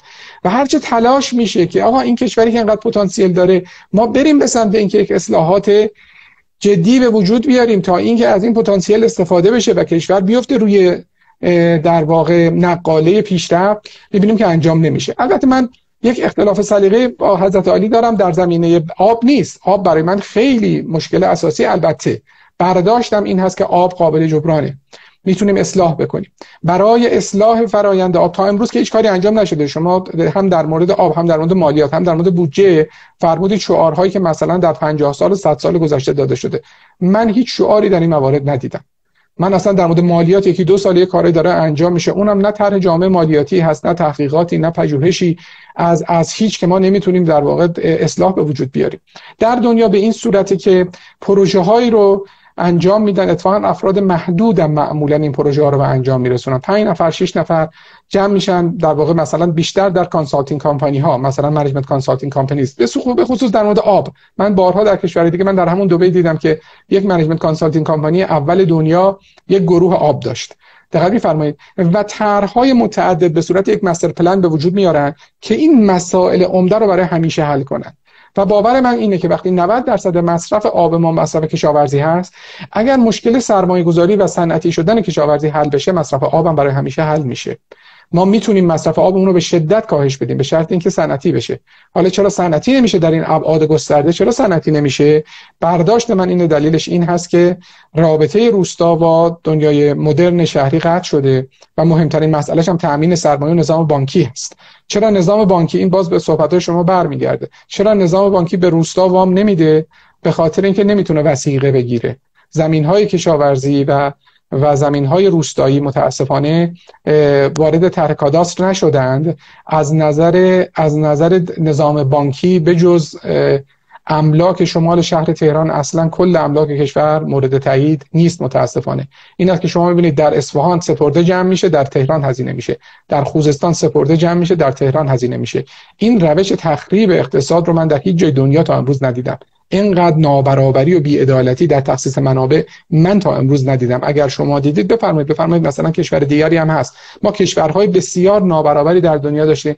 داریم مثال مشخص ساو پائولو در برزیل هست یا ریو دو جانیرو اینها اینها برزیل کلا یک مثالی است که مثلا نابرابری خیلی زیاده. در امریکا مثلا نابرابری خیلی کلا آره منطقه بله، بله.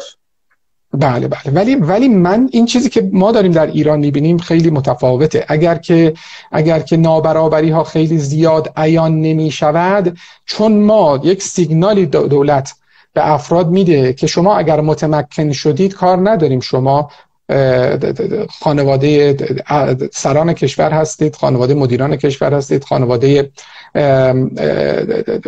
اقلیت هستید اقلیت مذهبی هستید. اقلیت قومی هستید اقلیت زبانی هستید یا اکثریت هستید فرقی نمی‌کنه. شما اگر متمکن شدی می‌تونی از کشور بری. شما اینجا نمی‌تونید ماشین خوب داشته باشی. اجازه واردات ماشین نمیدیم اتومبیل نمیدیم. تعرفه 100 درصدی می‌گذاریم. مشکل ایجاد می‌کنیم. شما نمی‌تونید اینجا ماشین داشته باشی. ماشین هم داشته باشی امنیت نداری. خط می‌کشیم روش. دقیقاً میفرمایید این این داره جامعه داره این سیگنال میده.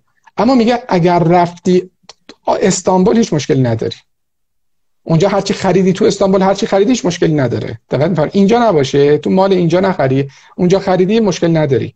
اگر رفتی دبی می‌تونی خونه خوب داشته باشی اتومبیل خوب داشته باشی می‌تونی فر... فرزند من می‌تونه بره امریکا درس بخونه هیچ مشکلی نداره. من من من بیشتر از اینکه افراد عادی در امریکا داشته باشم فرزندان سران کشور رو اونجا دیدم دوستان ما بودن می‌رفتن میومدن ولی خیلی تفاوت زندگی وجود داشت. من برای اینکه مقطع کارشناسی ارشد بی finance رو خواستم دریافت کنم واقعا کار بسیار بسیار سخت انجام دادم. یعنی در حدی که یک بار رفتم دکتر واقعا دکتر متاثر شد نتونست خودشو نگه داره. و می‌دیدم خب بالاخره این تفاوت ها رو شما در نظر بگیرید. خب من دیدم فرزند فلان که اصلا اومده اونجا زندگیش تأمین در حد بسیار بالا. دقت میفرمایید. خب ما داریم ببینید مشکلاتی که ما داریم الان خیلی داره شدید میشه. ما زیست پذیری کشور رو دچار خدشه کردیم. نه فقط از نظر محیط زیست که شما فرمودید و من کاملا قبول دارم. از نظر مسائل دیگر دقت میفرمایید. ببینید ما وقتی که میایم مثلا به آقای دکتری میگیم که شما حق نداری خودروی خوب داشته باشی.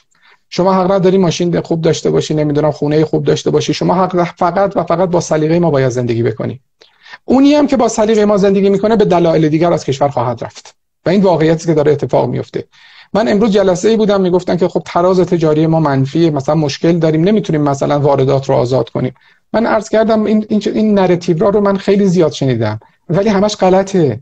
غلطه آقا آمار جلوی چشمتونه. ما تراز تجاریمون سالهاست مثبته. در در زمان تحریم تراز تجاریمون مثبت بوده. ما مشکلمون اصلا واردات کالا نیست. ما مشکلمون خروج سرمایه از کشوره. فرار سرمایه از کشوره اگر شما درد و درست بدونی درمان می‌کنید. چرا طرف فرار سرمایه داره از کشور؟ یکی به خاطر اعمال سلیقه است. من مسلمون دارم این صحبت رو می‌کنم. در ماه محرم. اعمال سلیقه می‌کنیم. حتی می‌خوایم همه رو با خودمون هم عقیده اگر بخوایم هم عقیدم بکنیم همین انقلاب ایران این انقلاب اسلامی چگونه پیروز شد؟ همین افراد انقلابی می‌رفتن دوست می‌شدن. از طریق از طریق عاطفه جلو می اومدن نه از طریق ضربت. گروه ضربت که نداشتن. کوه می‌رفتن با هم دیگه. غیر این آقای دکتر شما شاید اطلاع داشته باشید خاطرتون باشه. من که خاطرم من, من کودک بودم ولی خاطرم از این مسائل. همیشه تئوری های انقلاب جان فوران بقیه در مورد چه انقلاب مشروطه چه نهضت ملی و چه انقلاب 57 رو تحلیل جامعه شناسای انقلاب اینه که در اصل اعتلاف ها شکل گرفته. یعنی حتی در انقلاب ایران هم از اون اولترا چپش و مارکسیستا با هم همکاری کردن تا اولترا رایت خلاصه راستای مذهبی و اصل این اعتلاف ها همیشه در ایران تعیین کننده بودن. در مشروطه هم همین گونه است. یعنی شما از از شیخ فضلالله نوری تا روشن فکرا کنار هم وایسادن البته در ماجرای نهضت ملی هم نهضت ملی نفت هم از آیت الله کاشانی تا مصدق تا حزب توده به یه نوعی در جریان بودن. یعنی همیشه در ایران این اعتلاف ها پیروزی. البته خب یه معضلی هم داره همیشه این اعتلاف ها بعد از پیروزی فرو میپاشه. بله. ولی به هر حال ولی به هر حال ببینید اینکه توصیه کنیم و ما سعی کنیم که مرعوب کنیم افراد رو. افراد مرعوب که شدن بدترین واکنشی که می‌تونن نشون بدن. شاید بهترین واکنش اینه که مقاومت نشون بدن. بدترین واکنش اینه که انفعال نشون بدن. کشورشون رو رها کنن برای همیشه برن. بعد خروجیش میشه بی‌اعتمادی آقای دکتر. خروجیش میشه بی‌اعتمادی. و دو وقت بله. حالا این اعتمادیه تو سطوح مختلف. من تو پادکست دغدغه ایران شاید بیش از 5 6 اپیزود درباره اعتماد حرف زدم. جالبه. اخیرا یه کتابی پارسال از فوکویاما چاپ شد. شاید دیده باشین. اعتماد. خیلی کتاب بله. مشهور ترجمه فارسی اومد. اعتماد رو به عنوان بنیان توسعه مطرح می‌کنه. میگه یعنی تفاوت بین سطح توسعه در فرانسه، ایتالیا، آلمان و ژاپن و آمریکا برمیگرده به بنیانهای اعتماد. حتی بله. در سطح اینکه تو ژاپن مثلا بنگاه های بزرگ داریم یا در آلمان و در ایتالیا بنگاه ها خانوادگی هم. بله. این ببینید جناب بله. بله جناب دکتر اینو ما در در اقتصاد تحت عنوان سوشال کپیتال می‌شناسیم.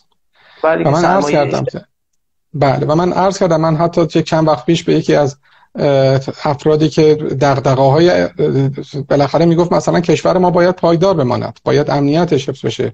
من خدمت ایشون عرض کردم که وقتی سوشال کپیتال دچار محلال شد وقتی فرزند افراد اول احترام نمی‌ذارن به ارزش هایی که دارن به جامعه القا میشه دقت میفرمایید اون وقت شما می‌بینید به محض اینکه کوچکترین مشکلی پیش بیاد سیم های برق رو خواهند دزدید. در کشور دیگه اتفاق افتاده در کشور ما هم خدای نکرده اتفاق میفته دقت بله. میفرمایید. اون وقت اون وقت شما می‌بینید که هر روز داره یک مشکل جدیدی به مشکلات موجود اضافه میشه و به مرحله می‌رسه که ما میگیم اسمهلال اما یک نکته جناب دکتر من یک جانم اینو بفرمایید. بعد من یک نکته می‌خواستم در یه جایی بریم سراغ راه حل ها یعنی بله. از شما رو هم بله. بشنویم. در یک ساعت و نیم نزدیک میشیم و آره یازده آره. بله. من... بسیار عالی. البته من ساعت جلوم نگذاشتم خوشبختانه وگرنه می اومدم وسط صحبت های فرمایشات ارزشمند شما. و این است که این است که سخت باز گذاشتم. بله هر جا لازم بود من من هم متوقف کنید. من فقط یک نکته رو می‌خواستم خدمتتون عرض کنم. بله, بله ببینید برداشتی که من دارم از مشکلات ایران با برداشتی که شما دارید خیلی نزدیک به همه. راه حل یه مقدار متفاوته. من با تجربه ای که در یک مثالی زدم دیروزم یک جایی زدم الان خدمت شما دوباره عرض می‌کنم. من یک زمانی آمریکا درس میخوندیم دانشجوی تازه دانشجو ایرانی اومده بود اونجا رفت گفت که من قهرمان پینگ پونگ هستم. حالا قهرمان نه ولی من پینگ پونگم خوبه تنیس روی میز. و رفته بود یک جای دیده بود میز پینگ پونگی هست و گفته بود که خلاصه بزرگ شما کیه؟ من می‌خوام با ایشون پینگ پونگ بازی کنم. ما بعد از یک یک ربع 20 دقیقه رسیدیم اونجا دیدیم این پسره بنده خدای ایرانیه افتاده زیر میز داره قاه قاه میخنده دلش رو گرفته نمی‌تونه بازی بکنه. گفتیم آقا جریان چیه؟ چرا اینجوری می‌کنی؟ گفت که واقعیت اینه که من فکر کردم پینگ پونگم خیلی خوبه. اومدم با این آقا بازی کردم. شدم 20 0 20 0 اومدم سرو آخر بزنم. اومدم سرو آخر رو بزنم. می‌بینم این چنان گارد گرفته که مثل اینه که من صفر من بیستم اون صفره. و گفت این نامرد حاضر نیست یک امتیاز به من بده. جناب دکتر من تو جامعه جامعه رحیم مهربان ایرانی زندگی کردم. ما ممکنه اینجا ناامنی باشه من اینا رو می‌بینم قبول دارم. ولی نسبت به جوامعی که در دنیا من زندگی کردم مردم ما خیلی مردم مهربانی هستند. و برداشتشونه که بقیه هم نسبت به ما اینطور هستند. من در کشوری زندگی کردم که یک امتیازم نمیده. اونم در بازی که هیچ نقشی در این دنیا ندارد. دقت میفرمایید. واقعیت این هست که در عرصه بی در نظام جنگل بین المللی اگر شما ضعیف شدی یک امتیاز هم به شما نخواهند داد. دقت میفرمایید. خیلی سخت می‌تونید جلو برید. این به معنی این نیست که به معنی این نیست که من رابطه با آمریکا رو مثلا بخوام تخته کنم. به نظر من قطعا باید این رابطه هر چه زودتر از این هم باید برگزار می‌شد نباید به اینجام کشیده می‌شد. ولی این رو هم این رو هم می‌شناسم. بودم دیدم زندگی کردم با این افراد که اگر قدرت نداشته باشی همون یک امتیازی هم که به داده ازش ویدرا می‌کنه پس می‌کشه. اون اون رو هم اون رو هم نمیپذیره. دقت بفرم اینها واقعیت های این جهانه. و افراد دوست ندارن خیلی وقتا این واقعیت ها رو چون ناامنی به وجود میاره. من اگر بدونم که که ممکنه ضعیف باشم و این ضعیف بودنم باعث بشه که نتوانم امتیاز بگیرم خب این زندگی برای من یک سخت میشه. ولی اگر من یک امید اینطوری دادم که همه چی خراب است وقتی که ما به برجام برگردیم همه چی اصلاح می شود من اصلا چنین برداشتی ندارم. من اصلا چنین برداشتی ندارم. مشکلات اساسی و جدی ما داریم. که چه با برجام چه بی برجام حل نخواهد شد. من اعتقاد دارم در عرصه سیاست خارجی ما نباید دشمن سازی کنیم. باید بریم به سمت دوست ساختن. ولی در کشورهایم زندگی کردم با من بیش از 100 تا دانشجو یعنی از 100 کشور جهان دانشجو داشتم. خیلی رفتارها اینها با هم متفاوت بود. فرهنگ ها اینها خیلی با هم متفاوت بود. من دیدم مردمی که اصلا با ما سر سازش ندارن. ما واقعیت این است که در سهاری خاورمیانه به دنیا آمدیم واقعیت این است که ایرانی هستیم. زبانمون متفاوته دینمون متفاوته با تمام این کشورها. و استیلای فرهنگی استیلای نظامی داشتیم نسبت به کل منطقه.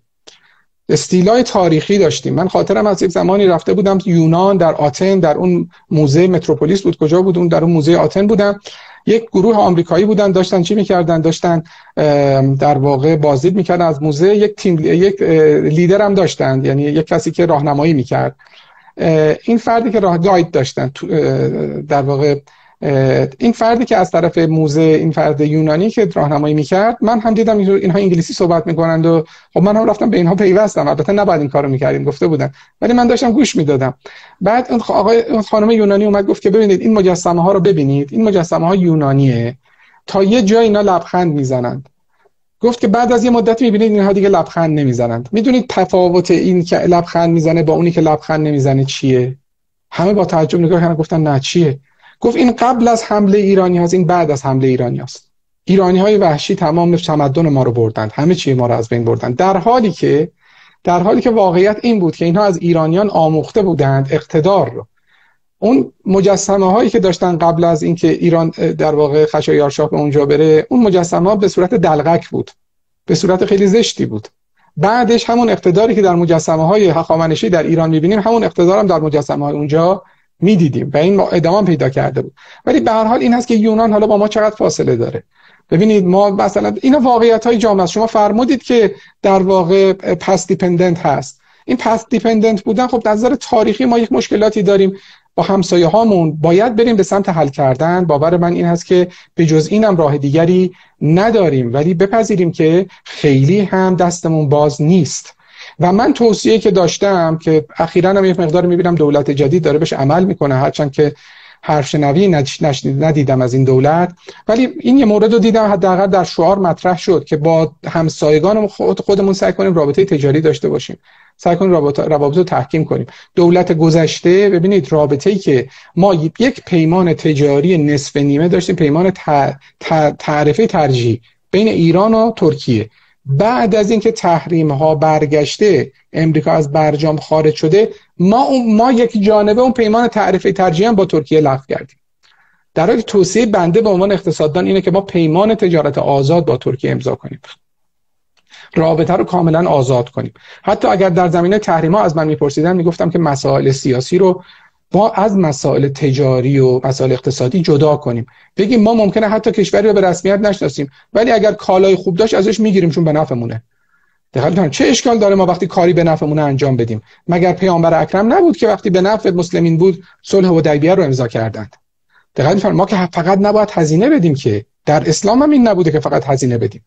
وقتی که به نفع جامعه بوده خب ممکن بوده ما در واقع از این فرصت ها استفاده کنیم. اما در مورد اینکه از این به بعد چه میشه من یه نکته خدمتتون خواستم عرض کنم. ببینید در آینده جهان در اون شش تا کشوری که شما فرمودید آینده جهان برداشت این هست که برخی از نقاط دنیا خیلی در از نظر توسعه خیلی در جایگاه بالای قرار نمی‌گیرند یک نمونهش کشورهای اروپای شرقی هستند به علاوه روسیه. دلیل جنگ روسیه این قضیه است. یعنی آینده خوبی روسیه نداره با توجه به مسائل جمعیتی که امروز داره.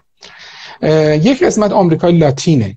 برعکس اون چیزی که شاید تصور بشه. یک قسمت دیگه یک یکی دیگه آفریقاست با دلیل رشد جمعیت بالا. هم رشد جمعیت پایین مضر هم رشد جمعیت بالا مضر کشور چین و کشور هند دو ابرقدرت آینده دنیا خواهند بود. ما اگر با اینها ارتباط برقرار کنیم خیلی به نفع ما خواهد بود. ما تا وقتی که هند بالاخره کشوری بود که به سمت ابرقدرت شدن نرفته بود ما رابطه خیلی خوبی داشتیم. از سه چهار سال پیش که وضعیت هند داره مرتب رشد می‌کنه رابطه ما متوقف شده. اینم از در واقع هنر ما بوده.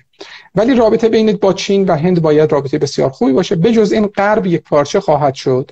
چون مثلا امریکای تنها نمی‌تواند رهبری کند. ولی به خصوص کشورهای انگلو ساکسون و اروپای غربی با همدیگه می توانند قدرت خودشون رو داشته باشند و همینطور کشورهای غیر اروپایی و غیر انگلو ساکسون مثل مثلا کشور ژاپن مثل کشور کره جنوبی مثل بعضی از کشورهای آسیایی احتمالا در این بلوک قرار بگیرند. تنها جایی که کسی در در مورد آیندهش صحبت نمی‌کنه خاورمیانه است. برداشت این هست که در واقع شاید بدترین وضعیت رو در دنیا منطقه خاورمیانه داشته باشه. دینهای متعدد زبانهای متعدد اقوام متعدد درگیری های تاریخی گسترده که از قرنها پیش ادامه داشته و اینکه در اختیارشون همه سلاح قرار گرفته و عمق کینه. می‌تونه این منطقه منطقه بسیار دردناکی بشه. منتها یک کشور در این منطقه وجود داره که اون کشور توانایی اتحاد کل این منطقه رو داره و تنها یک کشور هست که می‌تواند این کار رو انجام بده و اون هم ایران هست. ایران کشوری هست که در در گرگان به زبان قزاقی در برخی از روستاها صحبت میشه. در فریدن اصفهان به زبان گرجی صحبت میشه. در سیستان و بلوچستان زبان اردو رو می‌شناسند به زبان بلوچی صحبت می‌کنن. ما در کشورمون حتی تقریبا می‌تونم بگم تمام زبانهای خاورمیانه رو ما که صحبت می‌کنیم و تنها کشوری هستیم که این زبانها رو صحبت می‌کنیم. پس بنابراین ایران می‌تونه مایه در واقع ثبات کل این منطقه بزرگ بشه. اگر این اتفاق بیفته اگر ایران معامل ثبات منطقه خاورمیانه بشه کل منطقه خاورمیانه تبدیل به ابرقدرت خواهد شد. ابرقدرتی که همین امروز سلاح اتمیش هم داره. یک کشوری مثل قزاقستان منبع بزرگ مثلا اورانیوم است کشوری مثل پاکستان سلاح اتمی داره. یعنی این منطقه اگر بره به سمت ثبات بره به سمت صلح وضعیت بسیار بسیار درخشانی پیدا می‌کنه. چون ایران اولین کشوری بوده که وارد گذار جمعیتی شده و از این جهت دست برتر رو داره دلیل اعمال تحریم ها دلیل نانوشته اعمال تحریم ها مسئله در واقع قابلیت های ایران در این منطقه است که ایران می‌تونه کل منطقه رو در کنترل خودش بگیره. دقت میفرمایید. اگر مسئله این باشه تا وقتی که ما پنجره جمعیتی به روی کشور ما باز هست نمی‌تونیم انتظار چندانی داشته باشیم که این تحریم ها لغو بشه.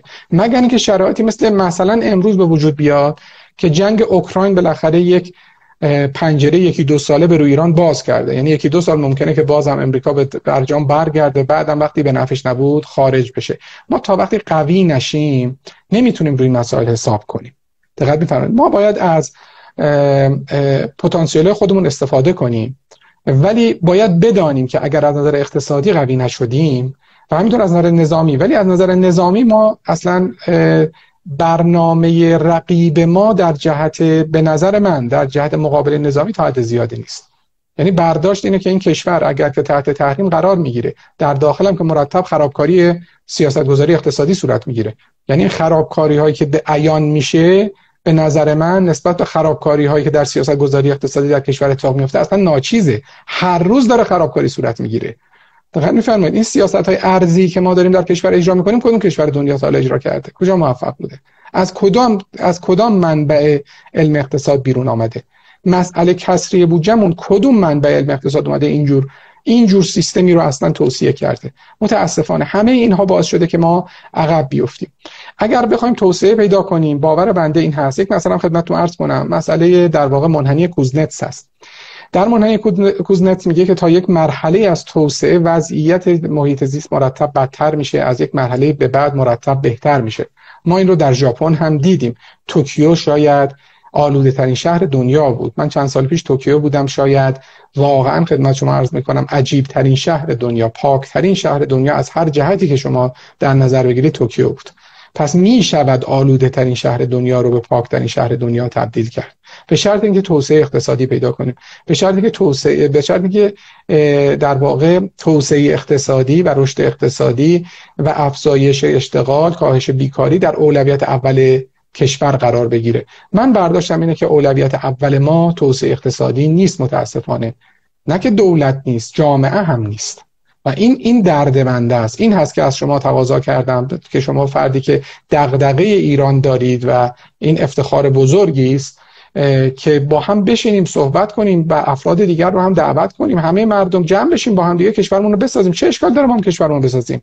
مگه بقیه کشورشون نساختن؟ مگه آمریکا از روز اول امریکا بوده؟ در جنبش زنان در امریکا برای اینکه زنان حق رأی پیدا کنن هفتاد سال این جنبش ادامه پیدا کرده. هفتاد سال. دقت میفرمایید. خب ما الان ما الان مثلا یک جنبش ضد انحصار مثلا در کشور داریم.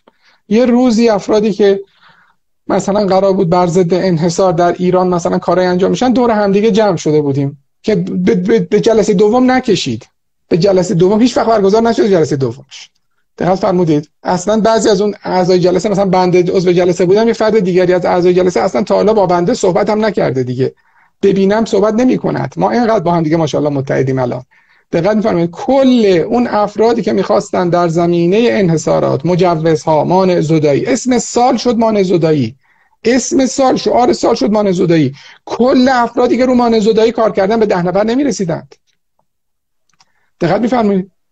اصلا اصلا اون بالاخره این افرادی که الان پست قبول کردند خب این افراد چقدر مثلا رو شعار سال کار کردن؟ شعار پارسال که سوال شعار خوبی بود که. شعار امسال که شعار خوبی بود که. ما اومدن یک دو, دو تا گروه دو تا دو تا در واقع انجمن به وجود آوردند. دو جامعه به وجود آوردند. در جهت شفافیت. همون افراد شفافیت الان در رأس در رأس سیاست گذاری اقتصادی کشور نشستن. اصلا دیگه اصلا این واژه شفافیت رو دیگه به کار نمی‌برن. اصلا حساسیت پیدا کردن عزیزان به شفافیت.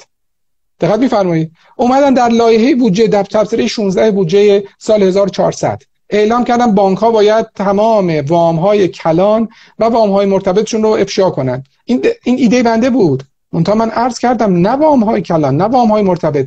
تمام تسهیلاتی که بانک ها میدن باید افشا کنن. یک وام ازدواج دو میلیون تومانی هم که میده بره بنویسه تو وبسایت. چه اشکال داره؟ دقت میفرمایید. خلق پول بانکی با حمایت حاکمیت که خلق پول بانکی انجام میشه. خب اینو بیا افشا کنه.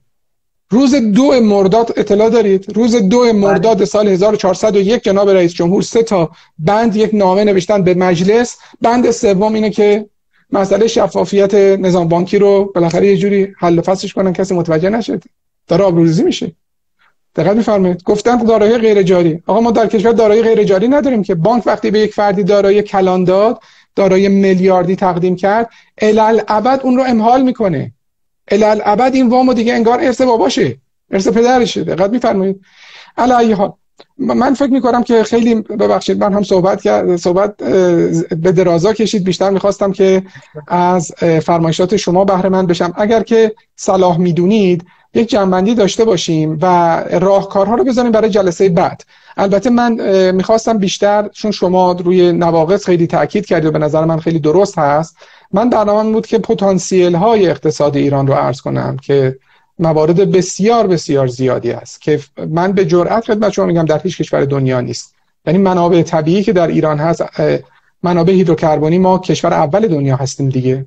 یعنی مجموع نفت و گاز ما کشور اول دنیا هستیم. از نظر مسائل جمعیتی کشور اول دنیا هستیم.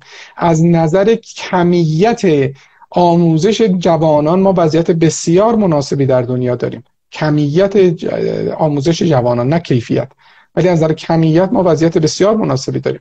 از نظر ارتباط با سطح اول تکنولوژی دنیا ما حضور خیلی مناسبی در دانشگاه برتر دنیا داریم. همین جوانایی که از کشور مهاجرت می‌کنند و دیگه پشت سرشون رو نگاه نمی‌کنند اگر شرایط مناسب فراهم بکنیم اگر که اگر که بپذیریم که خدا رحمان و رحیم است. دقیقاً فرمایید اگر خاطرتون باشه یه زمانی ما وقتی می‌خواستیم اسم خدا رو بیاریم به جای که بگیم بسم الله الرحمن الرحیم می‌گفتیم بسم, بسم الله القاسم الجبارین. دقت میفرمایید. یعنی برداشت واقعا اون پس ذهنمون این بود که شاید اشتباه شده که در قرآن 114 بار در در قرآن واژه بسم الله الرحمن الرحیم اومده. دقت میفرمایید. یعنی ببینید ما چقدر فرهنگمون تغییر کرده. بالاخره ما به عنوان ایرانی یک قومی بودیم که اقوام متعدد ادیان مختلف ما پذیرفتیم. ما ما ادیان ما اولین قومی که به مسیحیت ایمان آوردن ارمنی ها بودن که قوم ایرانی بودن که همیشه بهترین رابطه رو با ایران داشتن. یهودیان رو در طول تاریخ تنها قومی که از یهودیان حمایت کرده قوم ما بوده. الان داره عکسش گفته میشه. هم از طرف خودمون معکوس این گفته میشه هم از طرف اون طرف معکوس داره گفته میشه. دارند واقع تاریخی رو کاملا تحریف می‌کنند ما افتخارمون این بوده که ادیان مختلف اقوام مختلف زبانهای مختلف با هم زندگی کردن با ریشه های متفاوت. کشوری هستیم که سه تا زبان با ریشه کاملا متفاوت. عربی و فارسی و آذری. سه تا زبان با ریشه کاملا متفاوت در کشور ما صحبت میشه. ما مثل حتی سوئیس هم نیستیم که چهار تا زبان دارن ولی با ریشه واحد. ما زبانهای متعدد با ریشه متعدد داریم. از این اینها بسیار می‌تونه برای ما قابلیت های بسیار بزرگی رو به وجود بیاره. اگر از این قابلیت ها استفاده کنیم. اگر نکنیم مثل مسئله جوانان. وقتی جوانان بیکار شدن این تبدیل میشه به نقمت. دیگه تریبون در اختیار شما و جلسه آینده اگر فرصت داشتید ادامه بدیم. ارادتمند خیلی ممنون آقای دکتر. یاد گرفتم و از دغدغه های شما هم خیلی سپاسگزارم. به حال همین که با همین سطح کنشگری اینها مطرح بشه. می‌دونم که تو جلسات هم طرح می‌کنید. همین که تو توییت هاتون نوشته هاتون جلسات در همین لایو مطرح می‌کنید. به حال نوعی خداگاهی جمعی رو میشه پدید آورد. من هم مثل شما معتقدم ایران ظرفیت های زیادی داره. حالا از انرژی از مواد خام جمعیت بالاخص موقعیت جغرافیایی خاصی یک نزدیکی به اقیانوس نزدیکی بالای یکی از مهمترین تنگه های دنیا بودن و ظرفیت ژئواکونومیک زیادی ظرفیت بسیار زیادی برای اینکه پذیرای کریدورهای اقتصادی مهمی باشیم می‌تونیم بخشی از آی چین باشیم می‌تونیم و و به یک کشوری که می‌تونه به شکل متوازنی با همه قدرت های جهان کار بکنه. و پذیرای سرمایه ها باشه یا به هر حال همین ظرفیت یادگیری یا همون شاخص HDI که گفتین Human Development Index که در ایران بعد از انقلاب خیلی توسعه پیدا کرده اینها. ولی همه اینها می‌تونن ظرفیت های تهدید هم باشن. یعنی همون HDI توسعه پیدا کرده می‌تونه تبدیل بشه به جوانانی که دیدین امروز واژه واژه نیت رو براشون به کار می‌برن. یعنی جوانانی که نه آموزش می‌بینن نه شاغلن و نه مهارت آموزی می‌کنن. میگن not in employment education. و, نه بیکارند. بله یه دونه اینه که بیکار هم نیستند. یعنی در آمار در جویای کار هم نیستند. بله. بله. در آمار بیکاری هم نیستند. متاسفانه خب من اخیرا میخوندم که این جمعیت نیت ها در ایران که نه, نه در حال آموزشن نه در حال شغلن نه در حال مهارت آموزی ترینینگ هم نمیشن. خب این یه ظرفیت خطره. من تصورم امروز اینه که اگر که بخواد که مسئله در ایران حل بشه روی همون ششتا متغیر داخلی می‌تونیم تاکید بکنیم و حتما مسئله از سیاست شروع میشه. یعنی از ساختارهای ذهنی رهبران به علاوه مدل هایی از کنشگری که ساختار توزیع منافع در ایران رو تغییر بده. ببینید تا وقتی که ساختار توزیع منافع همینی که هست یعنی همینی که یه کسی می‌تونه از مانع ایجاد کردن پول در بیاره. حالا مثلا بروکرات دولتیه می‌تونه یه مانع برای کسب و کارهای ایجاد کنه و کاسبی کنه. احسنت. تا وقتی می‌تونه یه کسی دسترسی داشته باشه به مذاکره کردن برای گرفتن ارز مثلا حالا 4200 یا ارز ترجیحی یا از تفاوت مثلا قیمت بین ارز صادر کننده در سامانه نیما با واردات استفاده کنه سود ببره شما اصلا دیگه نمی‌تونید بر سر نوآوری یا فناوری یا رقابت مثلا تا که رهبران ما و جامعه مدنی ما و قدرت های اقتصادی ما به باز تعریفی از رابطهشون با جهان نرسن و به یه ادراک ژئوپلیتیک و ژئواکونومی جدید نرسن و ما روندهای جهان رو درک نکنیم. به گمان من ما حتی مثلا با با آمریکا هم با روندهاش یا با اون مسائل ساختاریش مواجه نمیشیم. با چین هم به همین ترتیب مواجه نمیشیم. من یه بار یه توییتی زدم آمریکا حراسی و اروپا حراسی همونقدر غلطه که چین حراسی و روسیه حراسی. این یعنی چاین این این حراسی ها کماکان موضع ما با جهان. یه موقعی با دکتر آرش رئیسی نجات صحبت می‌کردم می‌گفت خب بالاخره برای یک کشوری که در طول سه هزار سال 440 بار بهش حمله شده یه مقداری هم طبیعی هست که رهبرانش نسبت به همه ترسناک باشن نسبت به همه واهمه داشته باشن یا حتی مردمش.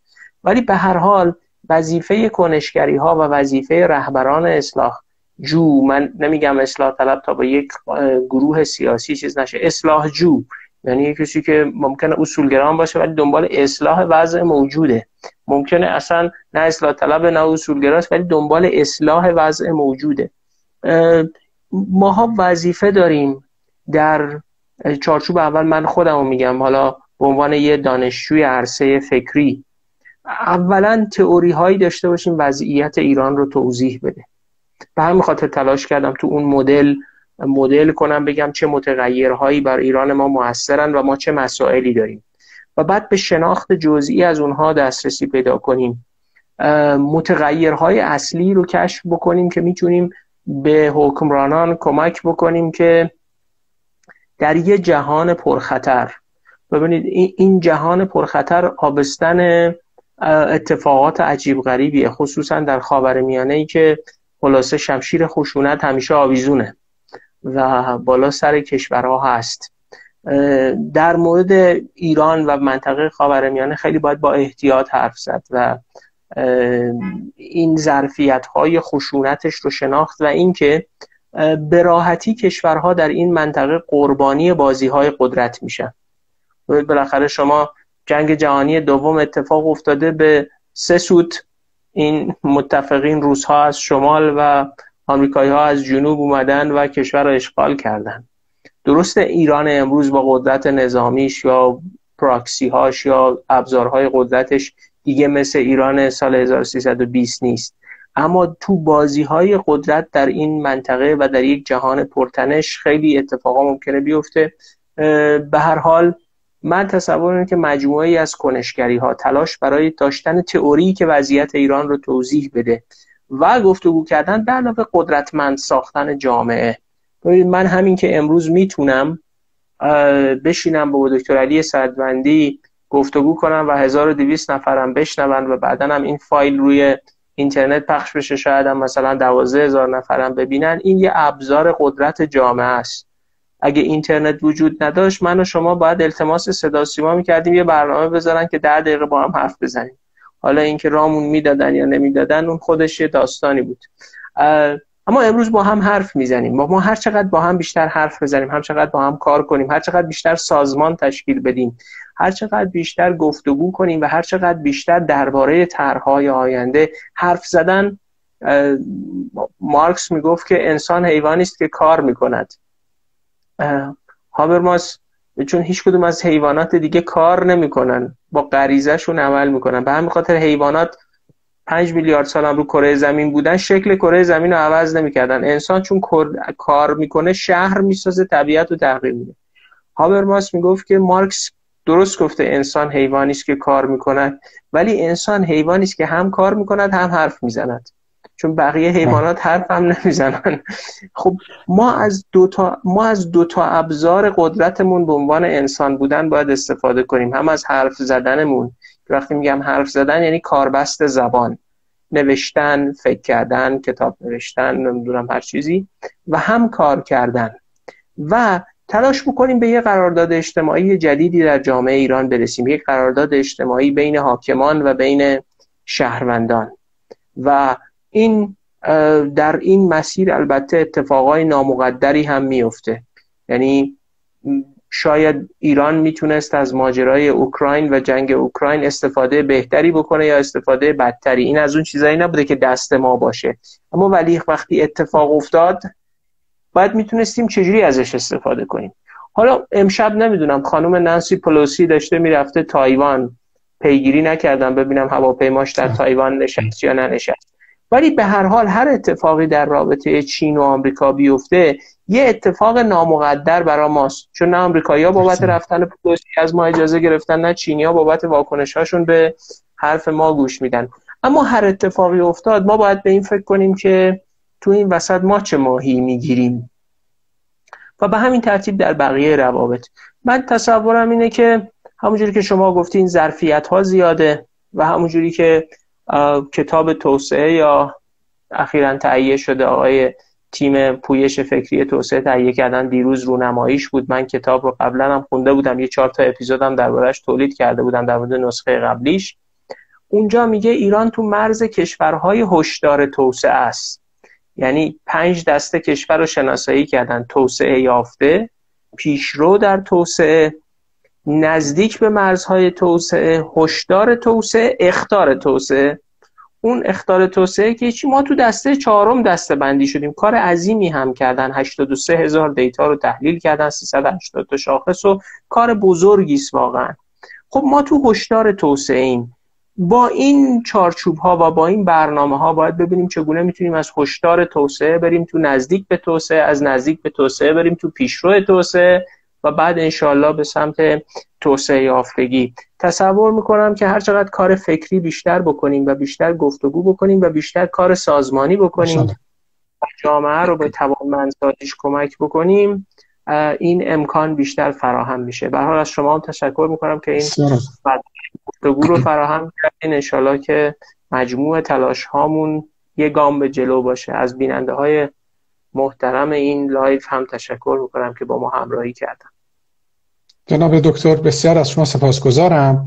یک نکته هم عرض کنم خدمتتون. من بالاخره در این سالهایی که اومدم خیلی تلاش کردم سیاست مسیر سیاست گذاری اقتصادی کشور رو از همون مسئله که شما فرمودید در ابتدای کار که مدل ذهنی حاکمان رو تغییر بدیم خیلی تلاش کردیم. مدیران کشور یه مقدار سخته یه مقداری راه می‌بره. شاید از اگر با جامعه ما بیشتر تعامل داشته باشیم ارتباط داشته باشیم شاید اگر که بتونیم آموزش بدیم خیلی موفق تر باشیم. اتفاقا این کرونا که پیش اومد در ما فرصتی بود. من کلینیک اقتصاد رو ایجاد کردم شروع کردم به تدریس اقتصاد و خیلی خوشحالم. یعنی واقعا خدا رو شاکرم که این در واقع نعمت مخاطب خوب رو در اختیار بنده قرار داد.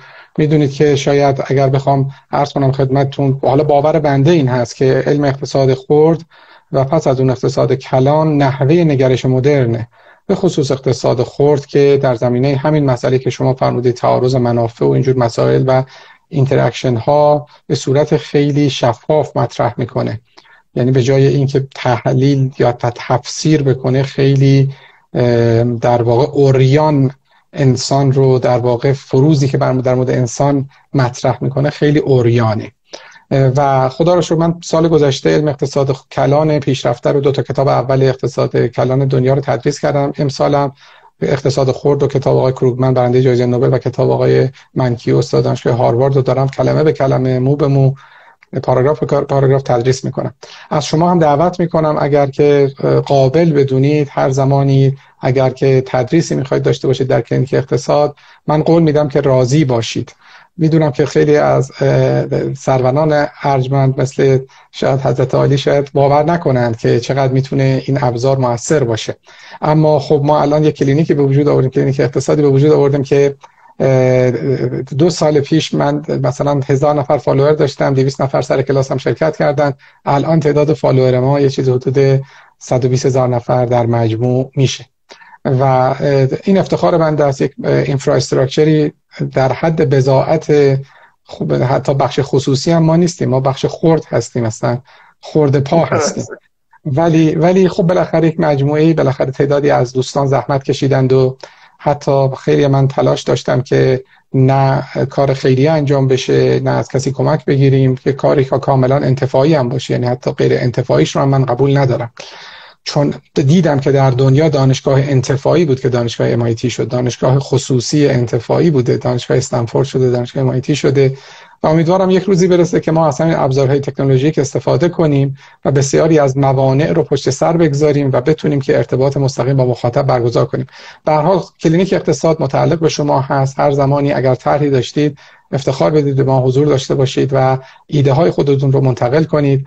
عرض کردم ما هدف اولیان این هست که علم مدرنی که در خارج از ایران حضور داره رو در بین ایرانیان اشاعه بدیم.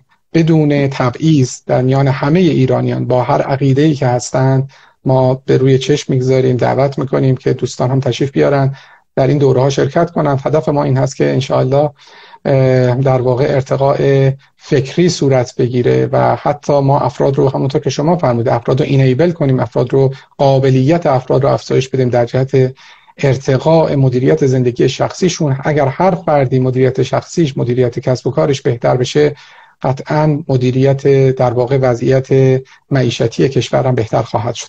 بسیار سپاسگزارم از شما و از صبر شما که این همه یعنی حضور داشتید در لایو ادامه پیدا کرد. و البته فکر می‌کنم فکر می‌کنم همین الان باید خاتمه بدیم. خداحافظی بفرمایید چون که باتری موبایل من داره تموم میشه. ارادتمند. لطف کردین لطف کردین. خوشحال شدم آقای دکتر. من اقتصاد خوان هستم ولی بلد نیستم درس بدم. یکی از اون حفره های حفره های آرزوهام یکیش اینه که یه روزی خلاصه یه دوره اقتصاد خوب بخونم. انشالله از کلاس های شما استفاده بکنم. شما استاد بزرگوار هستید. هر هر دوره ای رو که صلاح دونستید ما در خدمتتون هستیم. و خودمون همه امکانات رو در اختیارتون قرار میدیم. برای اینکه ادیت بشه فیلم ها یک مقدار کار می‌کنیم که یک کیفیت خوبی ارائه بشه در خدمتتون هستیم. ارادتمندم. شبتون بخیر. از بینندگان محترم. تشکر می‌کنم بابت این جلسه شب بخیر. خدا حافظ خدا نگهدار شما. از همه افرادی هم که در این لایف حضور پیدا کردن سپاسگزارم. خدا نگهدار همه دوستان.